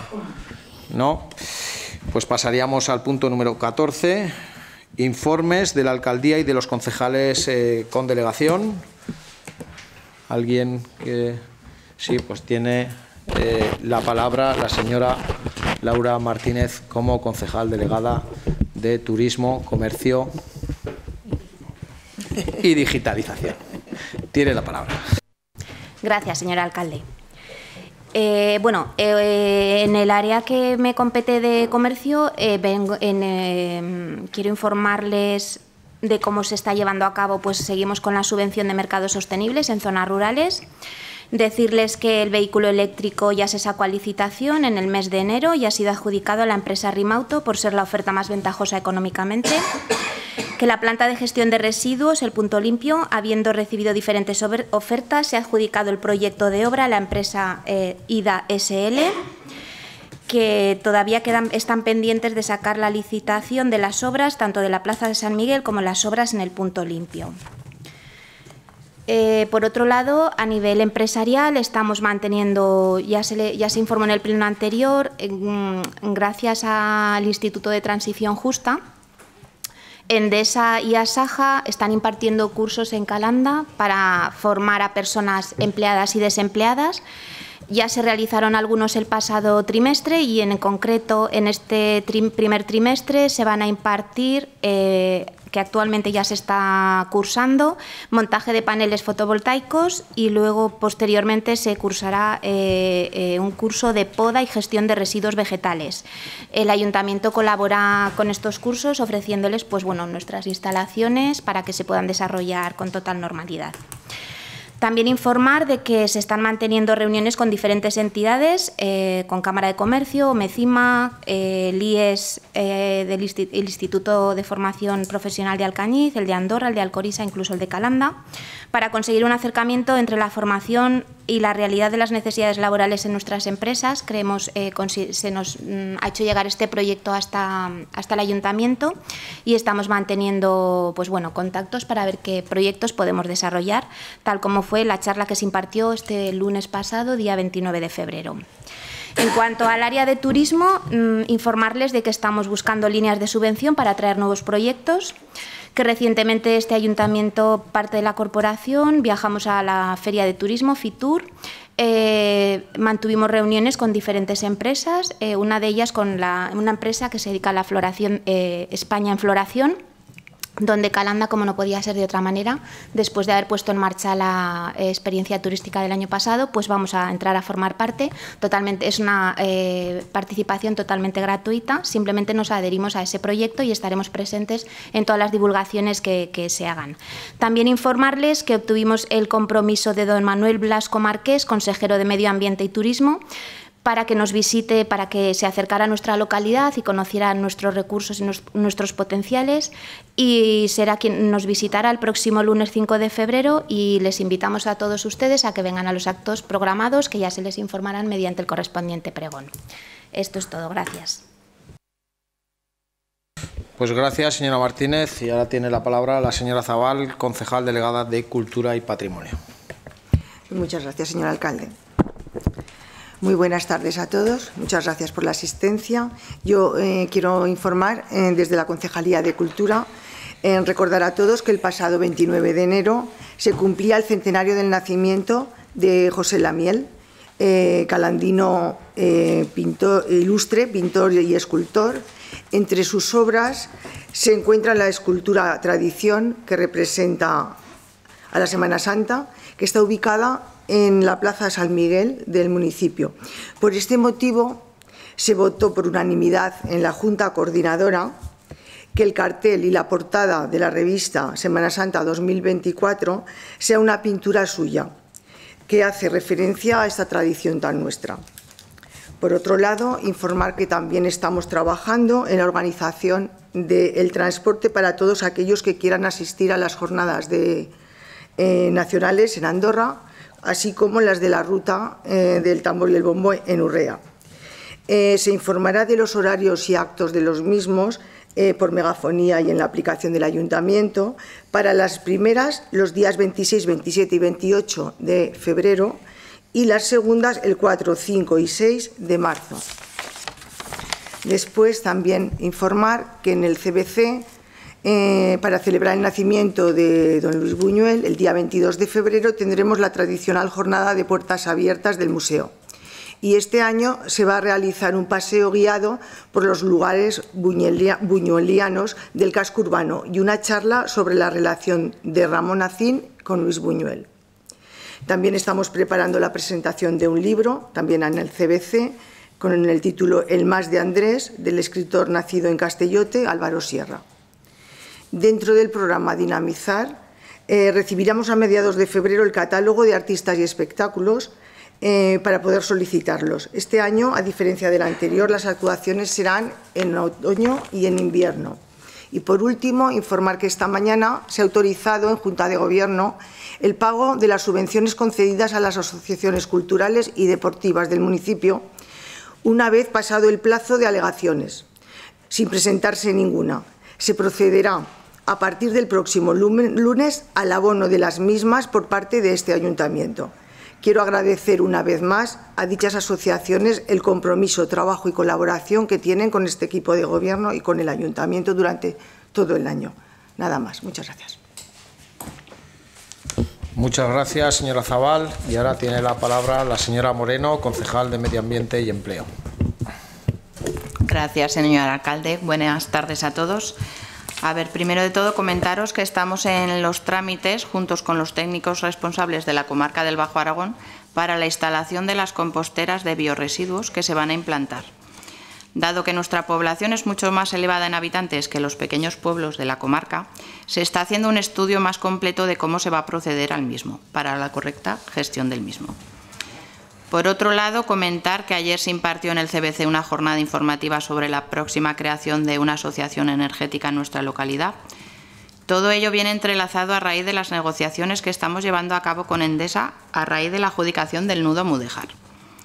Llevamos varios meses con reuniones y trámites de negociación, como ayer bien indicamos en la charla, de la firma del próximo convenio que estamos desarrollando junto con Endesa, a raíz de la adjudicación del nudo Mudejar. Este proyecto va a ser una gran implantación en nuestro municipio para la mejora considerablemente de los costes energéticos, tanto del ayuntamiento, el cual se va a ahorrar en factura cerca de los 50.000 50 euros anuales, y además de todos aquellos vecinos que a continuación podrán inscribirse en el mismo sin coste alguno. Quiero recalcar que esto no supone ningún coste para los vecinos, cero euros, sino todo lo contrario. Será una inscripción gratuita que se tramitará en el ayuntamiento, que para ello se pregonará, y que a raíz de la misma cada uno de los inscritos tendrá una bonificación, un descuento en su factura de luz sin que tengan que hacer ningún tipo de gestión. Es un gran proyecto para este municipio, es un proyecto que ronda los 2.100.000 euros aproximadamente. Mañana mismo continuamos con las, con las reuniones, con la negociación con ellos y que desde la primera reunión que nos reunimos allí en Zaragoza con el señor Ramón White, que nos atendió muy amablemente, pues se nos ofreció un beneficio únicamente para 100 vecinos. Pero a raíz de varias reuniones más estamos alcanzando ya la cifra de casi los 1.000 beneficiarios. Pero ya todo ello no depende de más que de la producción de energía que se generen en las cubiertas municipales que este ayuntamiento ha ofrecido para la implantación de las instalaciones de las placas solares. A raíz de este dato que los técnicos de Endesa ya están calculando, sabremos más o menos los beneficiarios del mismo. Para más información sobre este tema, pues el señor alcalde pues, nos informa más detenidamente del mismo. Gracias.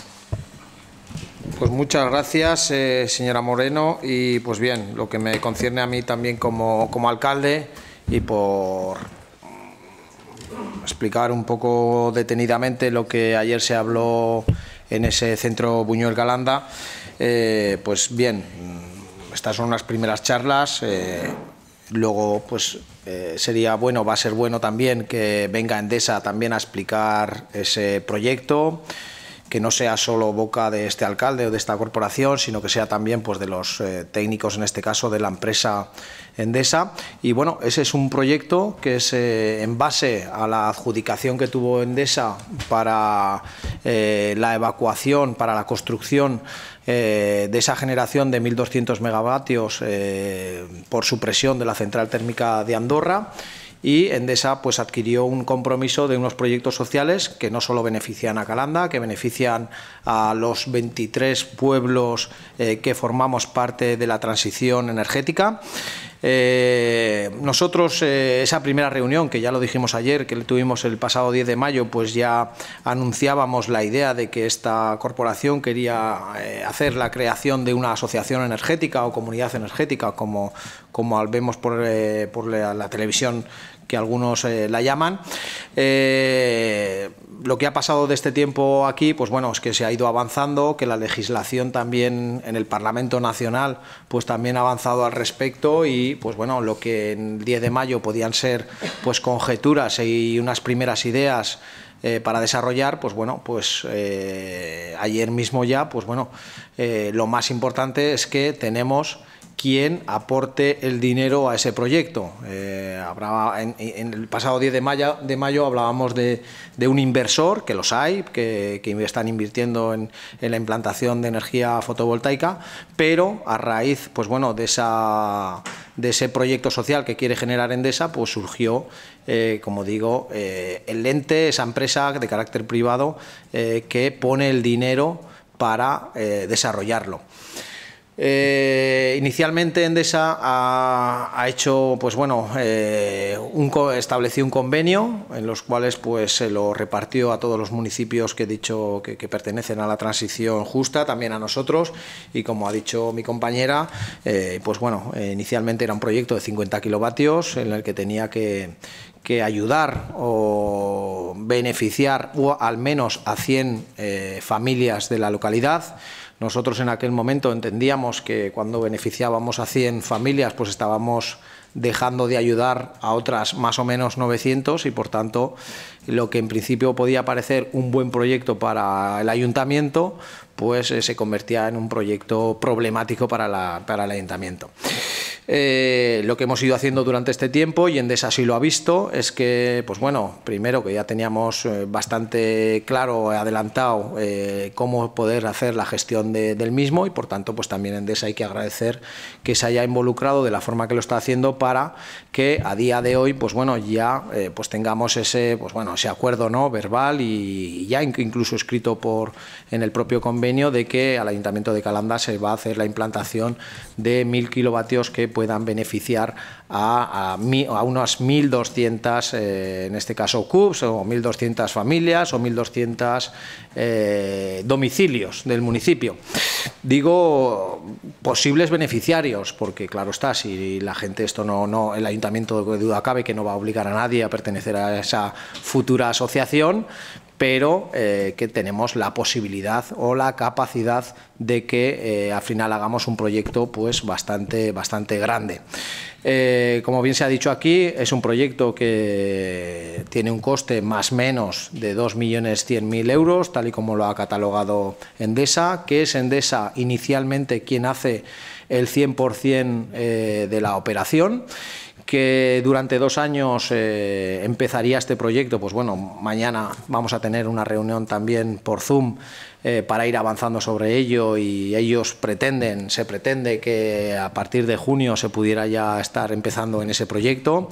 Eh, ellos establecen un tiempo de más o menos casi dos años para la realización del mismo, para que esa instalación quede bien regulada, que no haya ningún problema, tiene que tenga todos los trámites y todas las autorizaciones pertinentes del MITECO, del Instituto de Diversificación de Ahorro Energético, de Red Eléctrica Española, que eh, no tenga ningún problema. Y cuando pase esos dos años y ya está toda la, digamos, toda esa instalación legalizada, por decirlo de alguna manera, es en ese momento cuando hace la cesión al Ayuntamiento de Calanda.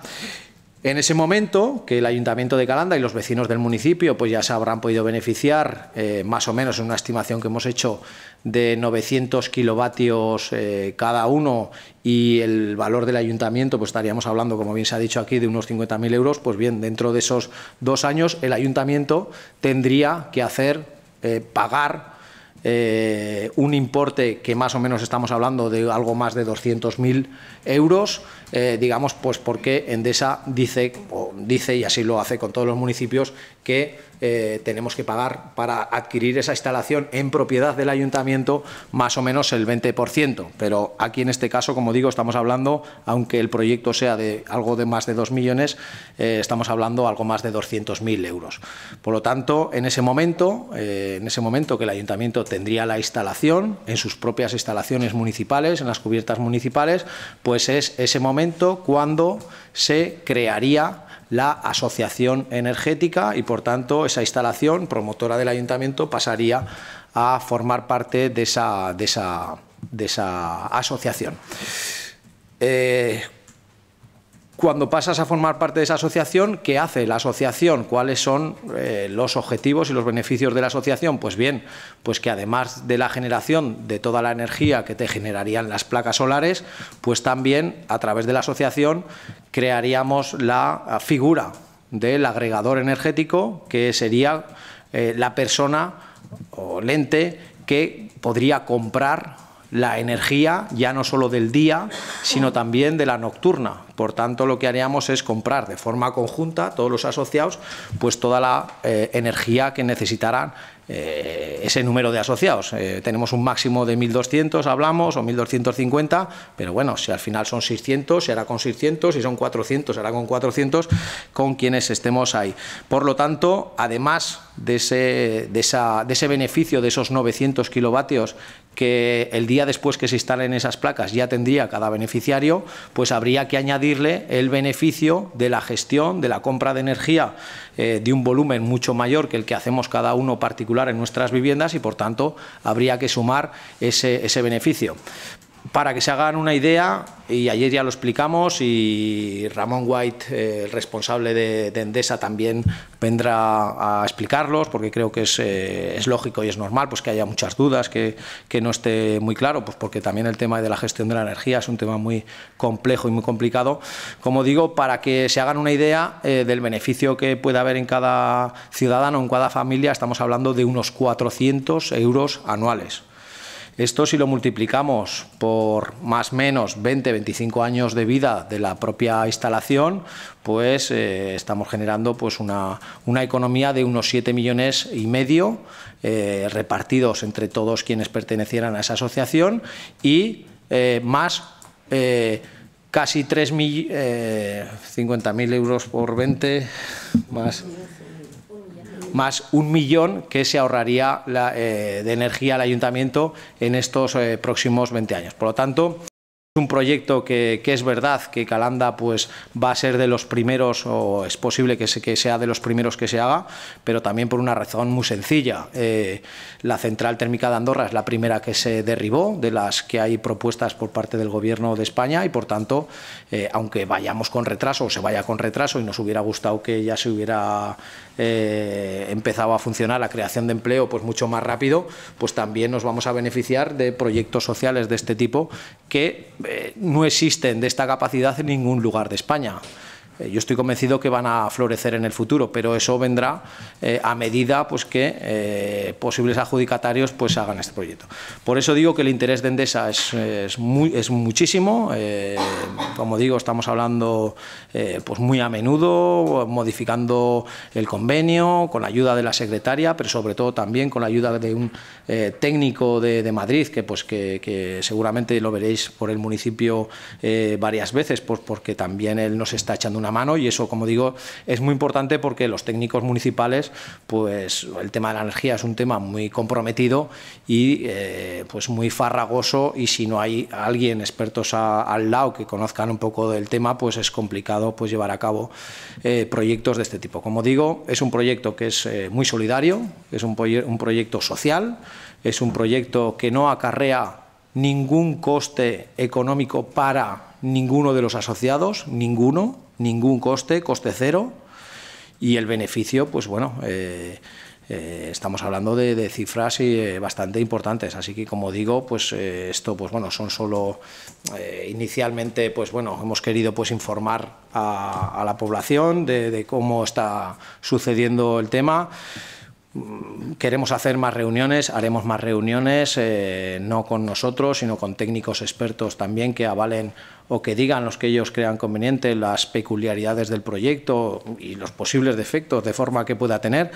Pero como digo, yo creo que es un proyecto importante y yo eh, invito a toda la población, a todas las personas del municipio que no tengan miedo, que aunque es verdad que es un proyecto muy novedoso, pero eh, el beneficio es muchísimo mayor que eh, los posibles riesgos, si los hay, eh, que pueda conllevar. Mm, esto, el mercado de la energía está cambiando cada vez más rápido, se está legislando muchísimo hasta hace cuatro días, por decirlo de alguna manera, pues eh, estaba, eh, pues bueno, primero no estaba consolidado la creación de energía y tampoco estaba eh, estipulado la gestión de esa energía por parte de otros entes que no fueran comercializadoras reconocidas y, con la documentación pertinente.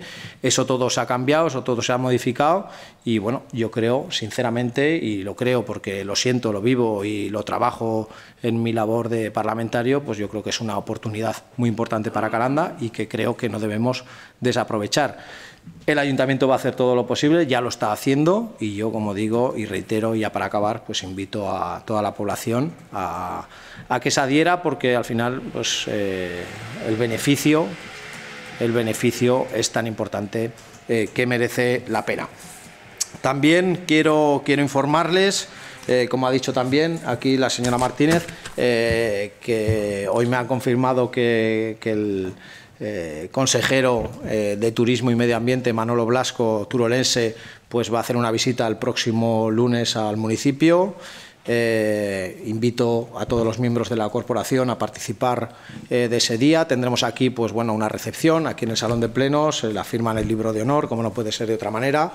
luego visitaremos lo que es el Castillo de Calanda. Hay que recordar pues, que también falta una última eh, parte, una última fase para ya de dejarlo eh, en plenitud, tal y como nos comprometimos con todos los ciudadanos. Eh, visitaremos el centro Buñuel y, pues bueno, le daremos a conocer al, al, consejero pues las necesidades que tiene este ayuntamiento en materia de medio ambiente y en materia de turismo.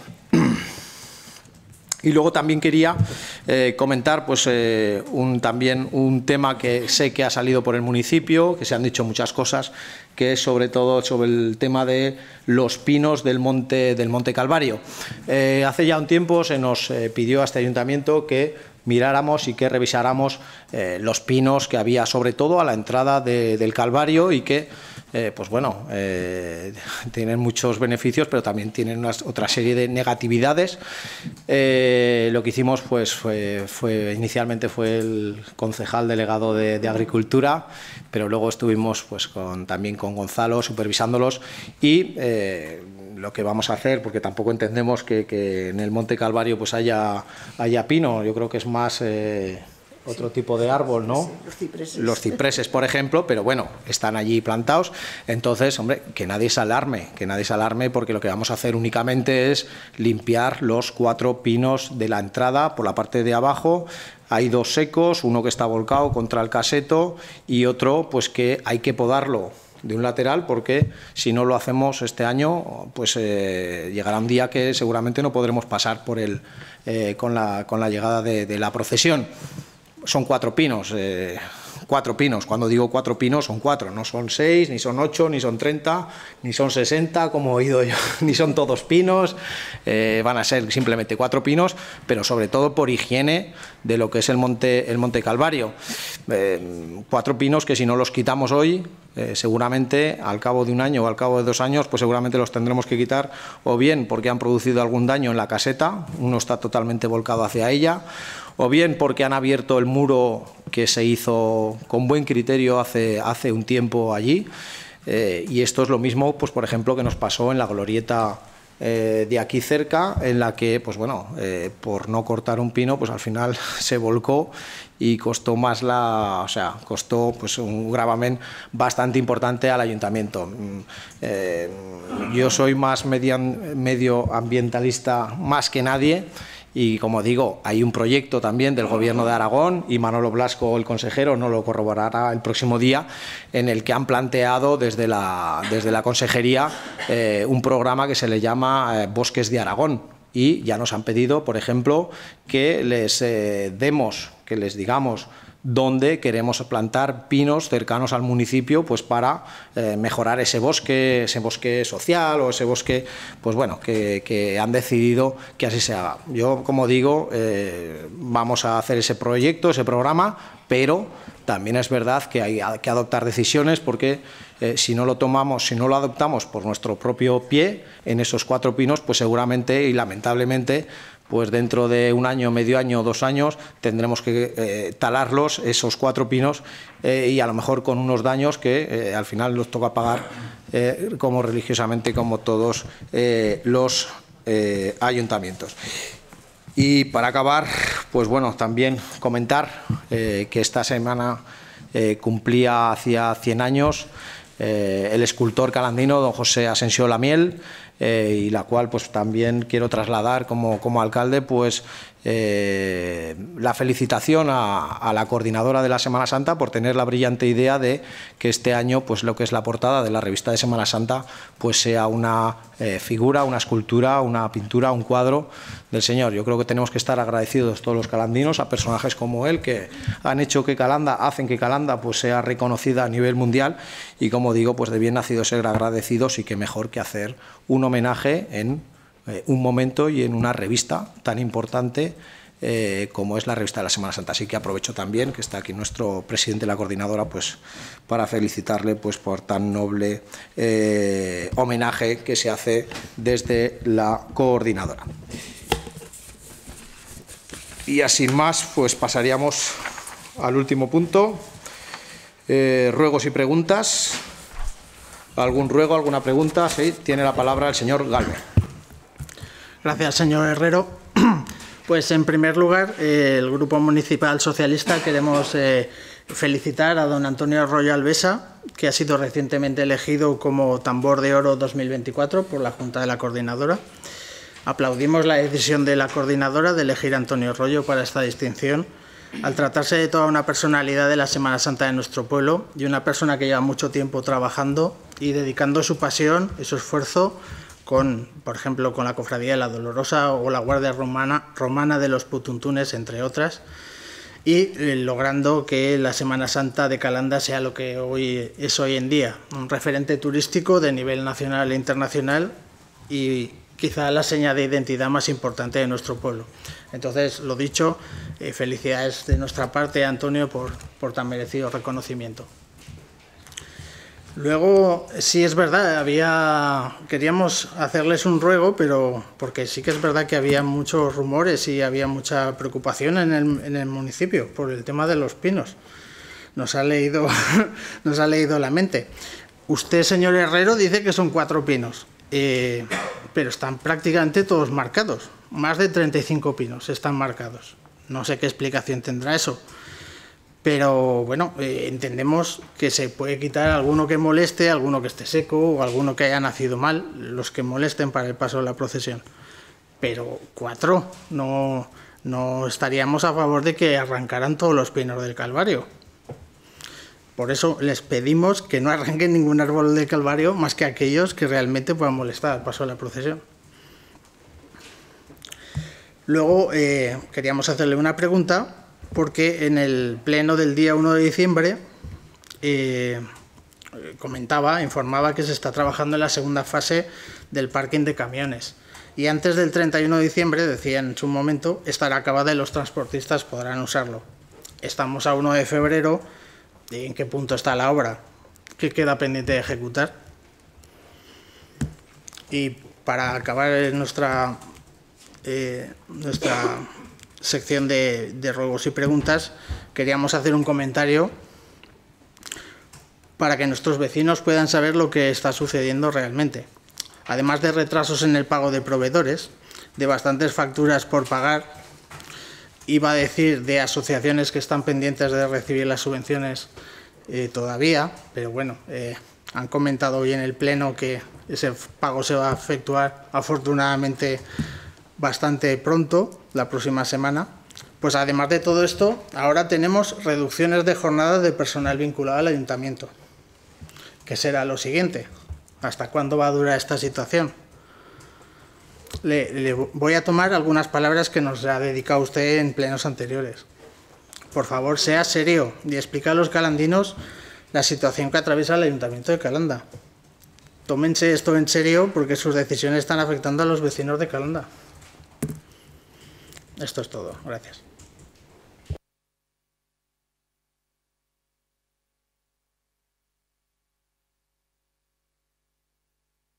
Muchas gracias, señor Galve.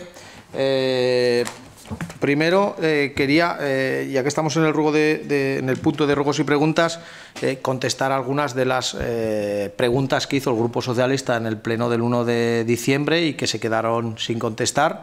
Eh, porque no se tenía la información. Una era eh, sobre las luces del humilladero, esas eh, luces pues, de esa ermita, pero también de otras ermitas del municipio y también de otras calles del municipio, como por ejemplo puede, puede ser hay varias, pero por ejemplo la calle Miguel Pellicer, pues eran unas bombillas de alto consumo. El ayuntamiento había que tenía que las mismas estructuras tenía que modificarlas para cambiarlas a consumo LED.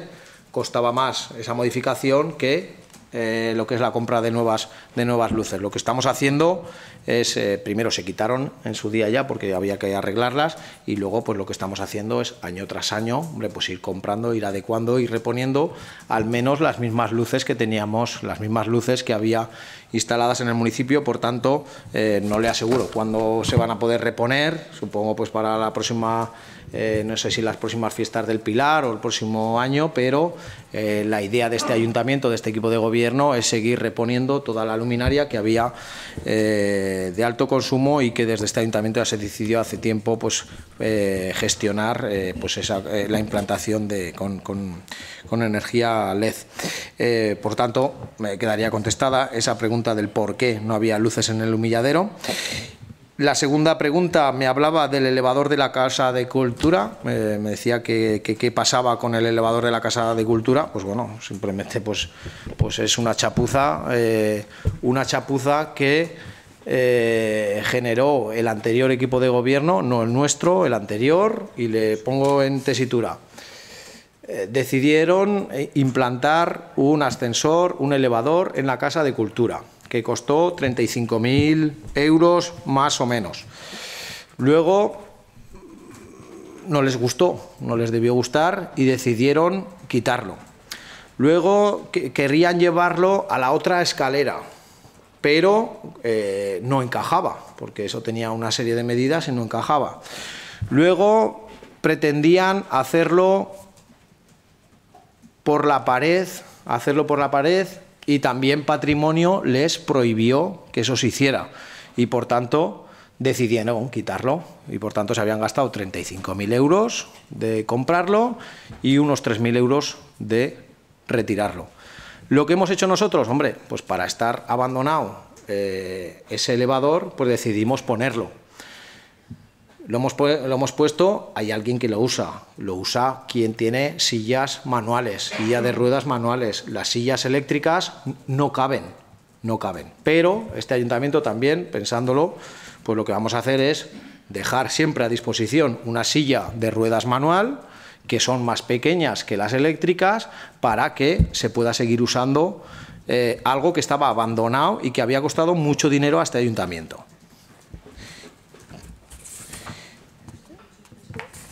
Eso es lo que vamos a hacer con el, con el elevador de la Casa de Cultura. Y conforme bien a los ruegos y a los ruegos y preguntas que hace en el día de hoy, pues yo, pues bueno, también como, como alcalde ya lo he hecho personalmente, ya me puse en contacto, pues también agradecer y felicitar a, a don Antonio Ramón eh, Rollo Alvesa, en fin, primero por, por designarle eh, de forma unánime en la Junta de la Coordinadora eh, como tambor de oro del municipio. Es un reconocimiento más que merecido a una persona que ha trabajado desde muchísimo tiempo y que fue él quien hace 50 años pues eh, decidieron reconvertir los putuntunes para que fueran eh, transportados y llevados por lo que son los quintos de, de, cada año. Así que, como digo, también nuestra felicitación a la persona de don Antonio Rollo Alvesa tranquilo sobre el tema de los pinos. Tranquilo que son tranquilo que son el tema de los pinos. Yo lo he dicho anteriormente porque eh, yo también estoy en el municipio y también, pues en fin, la gente, oye, que uno que dice, el otro que dice que lo han señalizado. Pues, eh, pues no, si le digo la verdad, no sé el motivo exacto del por qué se han señalizado. Ya le digo yo, ya le digo yo, ya le digo yo que no es para quitar los pinos.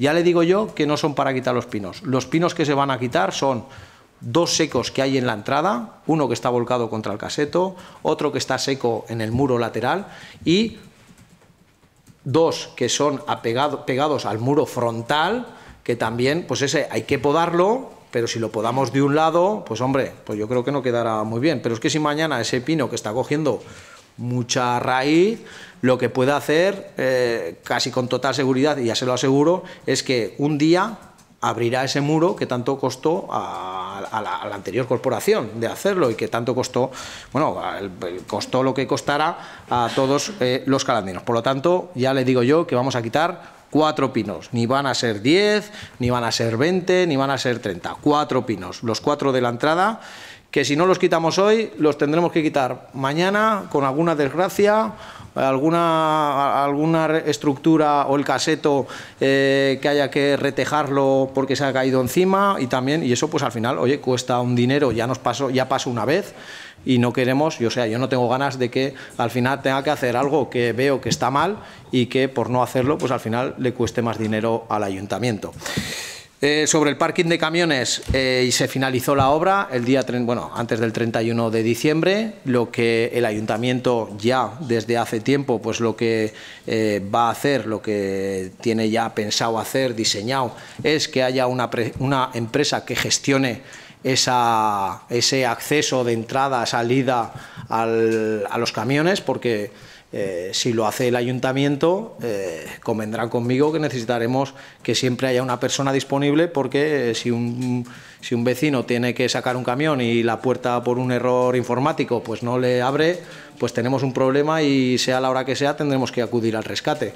Entonces, lo que vamos a hacer, o lo que ya se está trabajando y pues en fin, con las empresas que, que pueden estar, pues bueno, proclives para que eso se lleve a cabo, pues bueno, lo que pasa que bueno, luego hay que hacer unos trámites administrativos y bueno, ya me hubiera gustado que ya estuviera en funcionamiento, pero bueno, eh, tampoco, tampoco se va a retrasar mucho porque como digo ya está, ya está eh, bastante avanzado. Y luego, pues bueno, habla del pago de las facturas. Yo se lo digo por activa y por pasiva y se lo digo 100 veces, 200 y las veces que haga falta. A día de hoy el Ayuntamiento de Calanda es verdad, es verdad que hemos eh, pues subvenciones que estaban retrasadas y los pagos y los tributos de la Diputación de Teruel pues ya han ido avanzando muchísimo, no me atrevería a decir que están al día, pero están muy cerca, pero sobre todo a día de hoy tenemos, por ejemplo, eh, con IDAE tenemos más de 470.000 euros eh, de gasto corriente que todavía nos falta por ingresar. Ya me gustaría, pero bueno, eh, ha habido una situación muy complicada, yo lo he venido aquí, lo he anunciado, me he puesto en contacto con la gente que se ha puesto, que, nos ha solicitado, que nos ha llamado, pues para darle respuesta. Yo le he dicho la situación que ha habido desde el primer momento y bueno, eh, como digo, eh, lo que estamos haciendo es ya ir pagando, ir aproximándonos pues a tener a que quienes trabajan para el ayuntamiento pues tengan el menor periodo de pago pendiente por parte del este ayuntamiento. Mm, a mí no me gusta deber nada a nadie y tampoco me gusta y me gusta también pues que quien nos hace esos los servicios pues cobren eh, religiosamente en tiempo y forma. Y usted habla de la reducción del personal. Bueno, eh, yo lo que puedo avanzar es que eh, yo aquí en este ayuntamiento lo que he venido es para gestionar, no he venido pues para mirar para otro lado y he venido pues para trabajar y darle al municipio lo mejor que tengo, que es mi tiempo y lo poco mucho que puedo saber y que gracias pues, a los concejales delegados, a quienes les agradezco públicamente también todo el trabajo que hacen de forma diaria, pues podamos hacer. Eh, yo, mm, esto no... Yo trabajando en empresas y, y, el ayuntamiento es como una empresa, es diferente, pero al final es como una empresa también. Lo que hay que hacer es ajustar eh, y tomar las medidas en todos sentidos que optimicen y mejoren el funcionamiento del municipio. Eso ni es recortar, eso no es ni quitar empleo, sino adaptarlo a las necesidades que tiene el municipio o los eh, distintos servicios que así ejecutamos, así eh, se dan. Por lo tanto, eh, yo no sé a qué se refiere exactamente. Cuando tenga algún dato más, lo podemos hablar, pero este ayuntamiento, como digo, primero se ciñe a la ley, se ciñe a la legalidad, toma las decisiones que, crea que creemos convenientes. Ya le digo que algunas con acierto y otras seguramente con menos acierto, pero eh, aquí no se hace ni se ha impuesto nunca nada, ni se ha tomado ninguna decisión eh, sin tener pues detrás un, informe o una directriz o una idea por parte de los técnicos y yo creo que trabajamos en aras del buen funcionamiento eh, de este ayuntamiento. Por lo tanto, mm, lo que estamos haciendo pues es de las situaciones que se han ido creando, pues dándole solución, eh, como no puede ser de otra manera. Aquí el alcalde y los concejales tienen que tomar eh, decisiones en función de las situaciones que se van creando, se van generando o se han generado. Y por tanto, como no tengo nada más que aportar, pues eh, esa sería eh, la contestación a las tres preguntas o a los tres ruegos que hace el Grupo Socialista. Sí, sí, sí, pues tiene, tiene la palabra el señor Galve. Gracias, señor Herrero. En cuanto a lo del Calvario, nos deja más tranquilos a nosotros tres y a muchos calandinos que no queremos que aquello eh, se convierta en un, en un secarral sin, sin, sombra y sin árboles. Eh, y luego ya relativo al último punto. Eh, usted dice que ha venido a gestionar. Muy bien, de acuerdo, perfecto, gestione. La situación con el IDAE pues es un impedimento importante para el ayuntamiento, pero usted está aquí, precisamente lo dice usted, para gestionar esa situación. Llevan cinco años ya de mandato, ya no sirve que cuente cosas de, eh, legislaturas anteriores. Lleva cinco años gestionando. Estas cosas, como bien dice, eh, el ayuntamiento podría ser funcionar como una empresa y en una empresa estas cosas hay que preverlas, actuar intentar solucionarlas sin que genere un trastorno en otros ámbitos de la empresa o en el caso del ayuntamiento. Y luego es que eh, se lo tenemos que decir porque es que no ha pasado nunca en los 16 años de gobierno del PSOE lo que está pasando ahora. Los calandinos, los comercios y los trabajadores lo saben que antes se pagaba en tiempo y en forma. Y ahora no está sucediendo esto. Y no es una situación para tomársela a la ligera.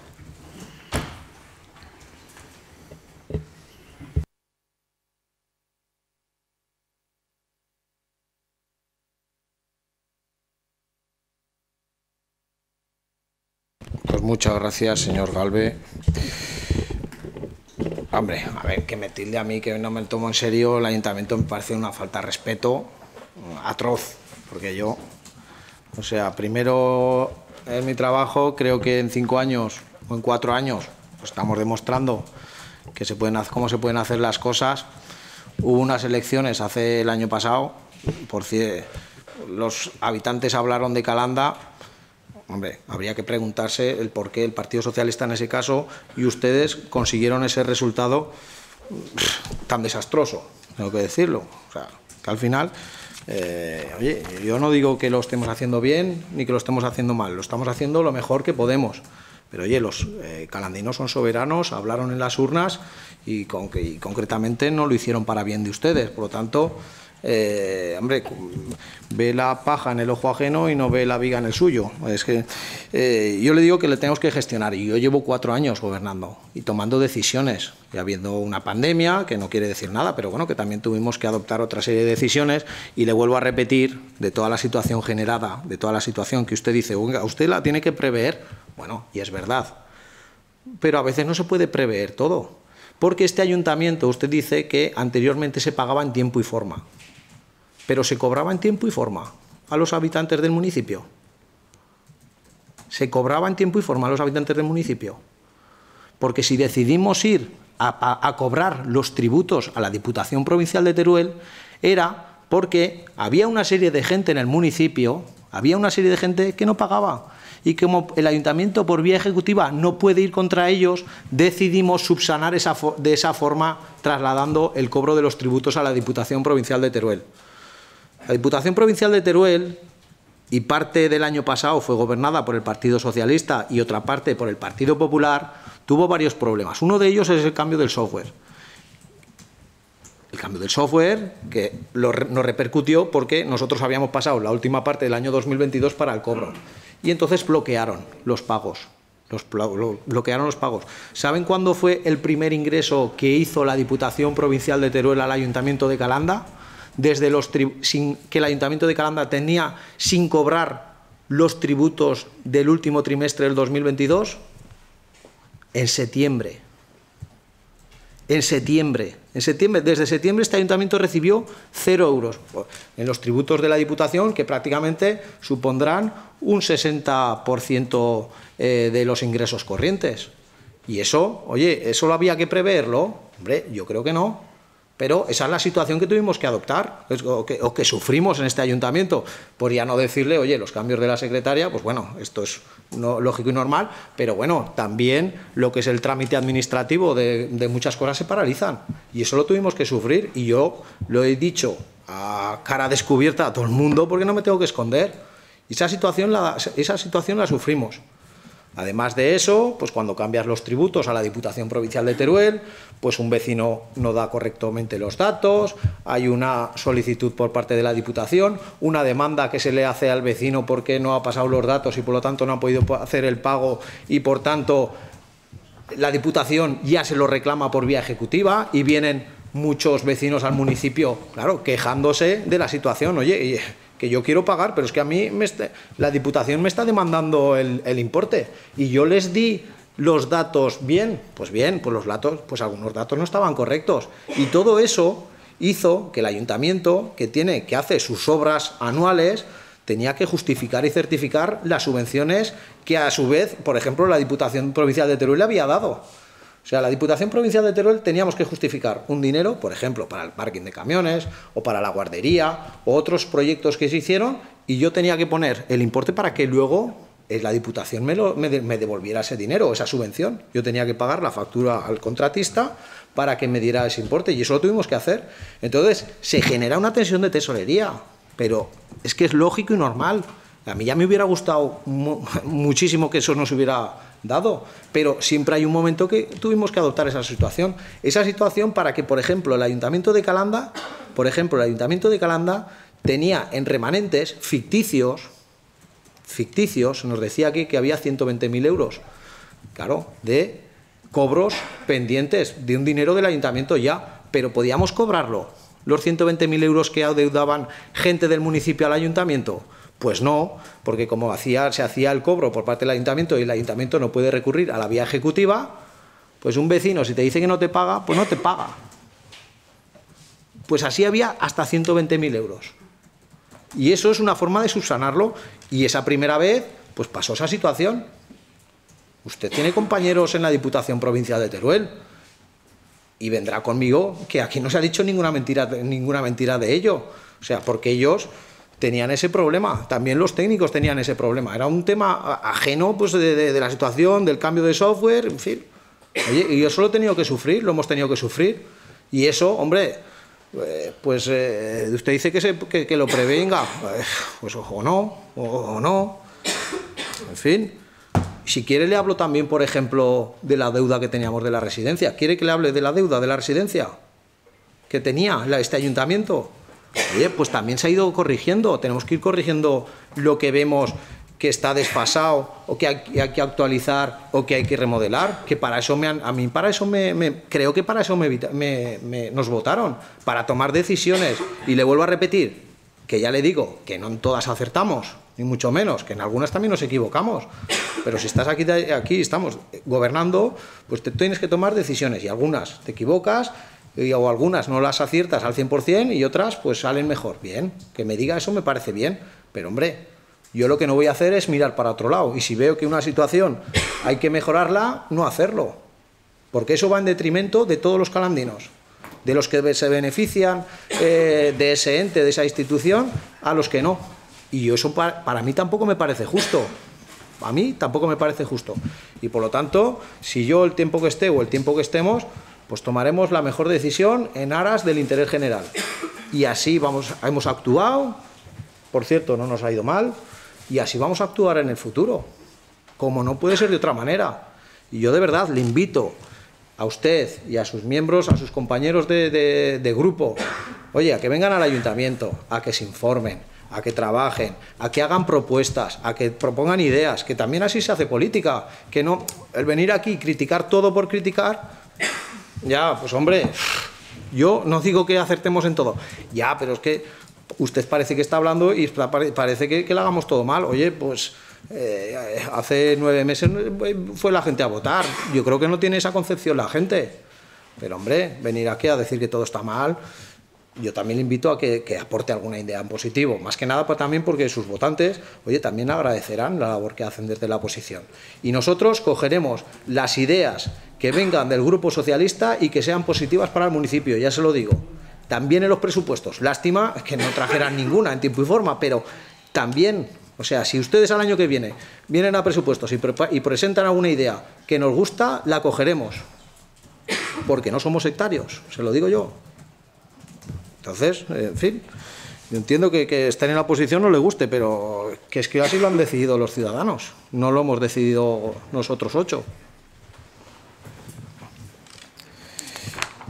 En fin, pues bueno, ya, pues nada, ya una vez finalizados todos los puntos del orden del día, eh, pues agradecer nuevamente la asistencia de todos los concejales, de nuestra secretaria, que, que como ven, pues ha hecho, eh, creo que es el pleno más largo en cuanto a, a, decisiones y a puntos que han pasado por el pleno que hemos hecho no solo de esta legislatura, sino de la anterior. Ya me advierte, ya nos ha advertido que en breve vamos a tener otro pleno, pues así que yo también, pues también le quiero eh, felicitar públicamente porque eh, después de incorporarse no hace mucho tiempo, pues somos conscientes y somos eh, agradecidos ¿no? de, de, la gran labor que está realizando al frente de este ayuntamiento. Así que, por nuestra parte, nada más, agradecer a quienes nos acompañan en el día de hoy, también pues, a todos aquellos que nos ven a través del medio de comunicación de la comarca. Sin nada más, muy buenas noches,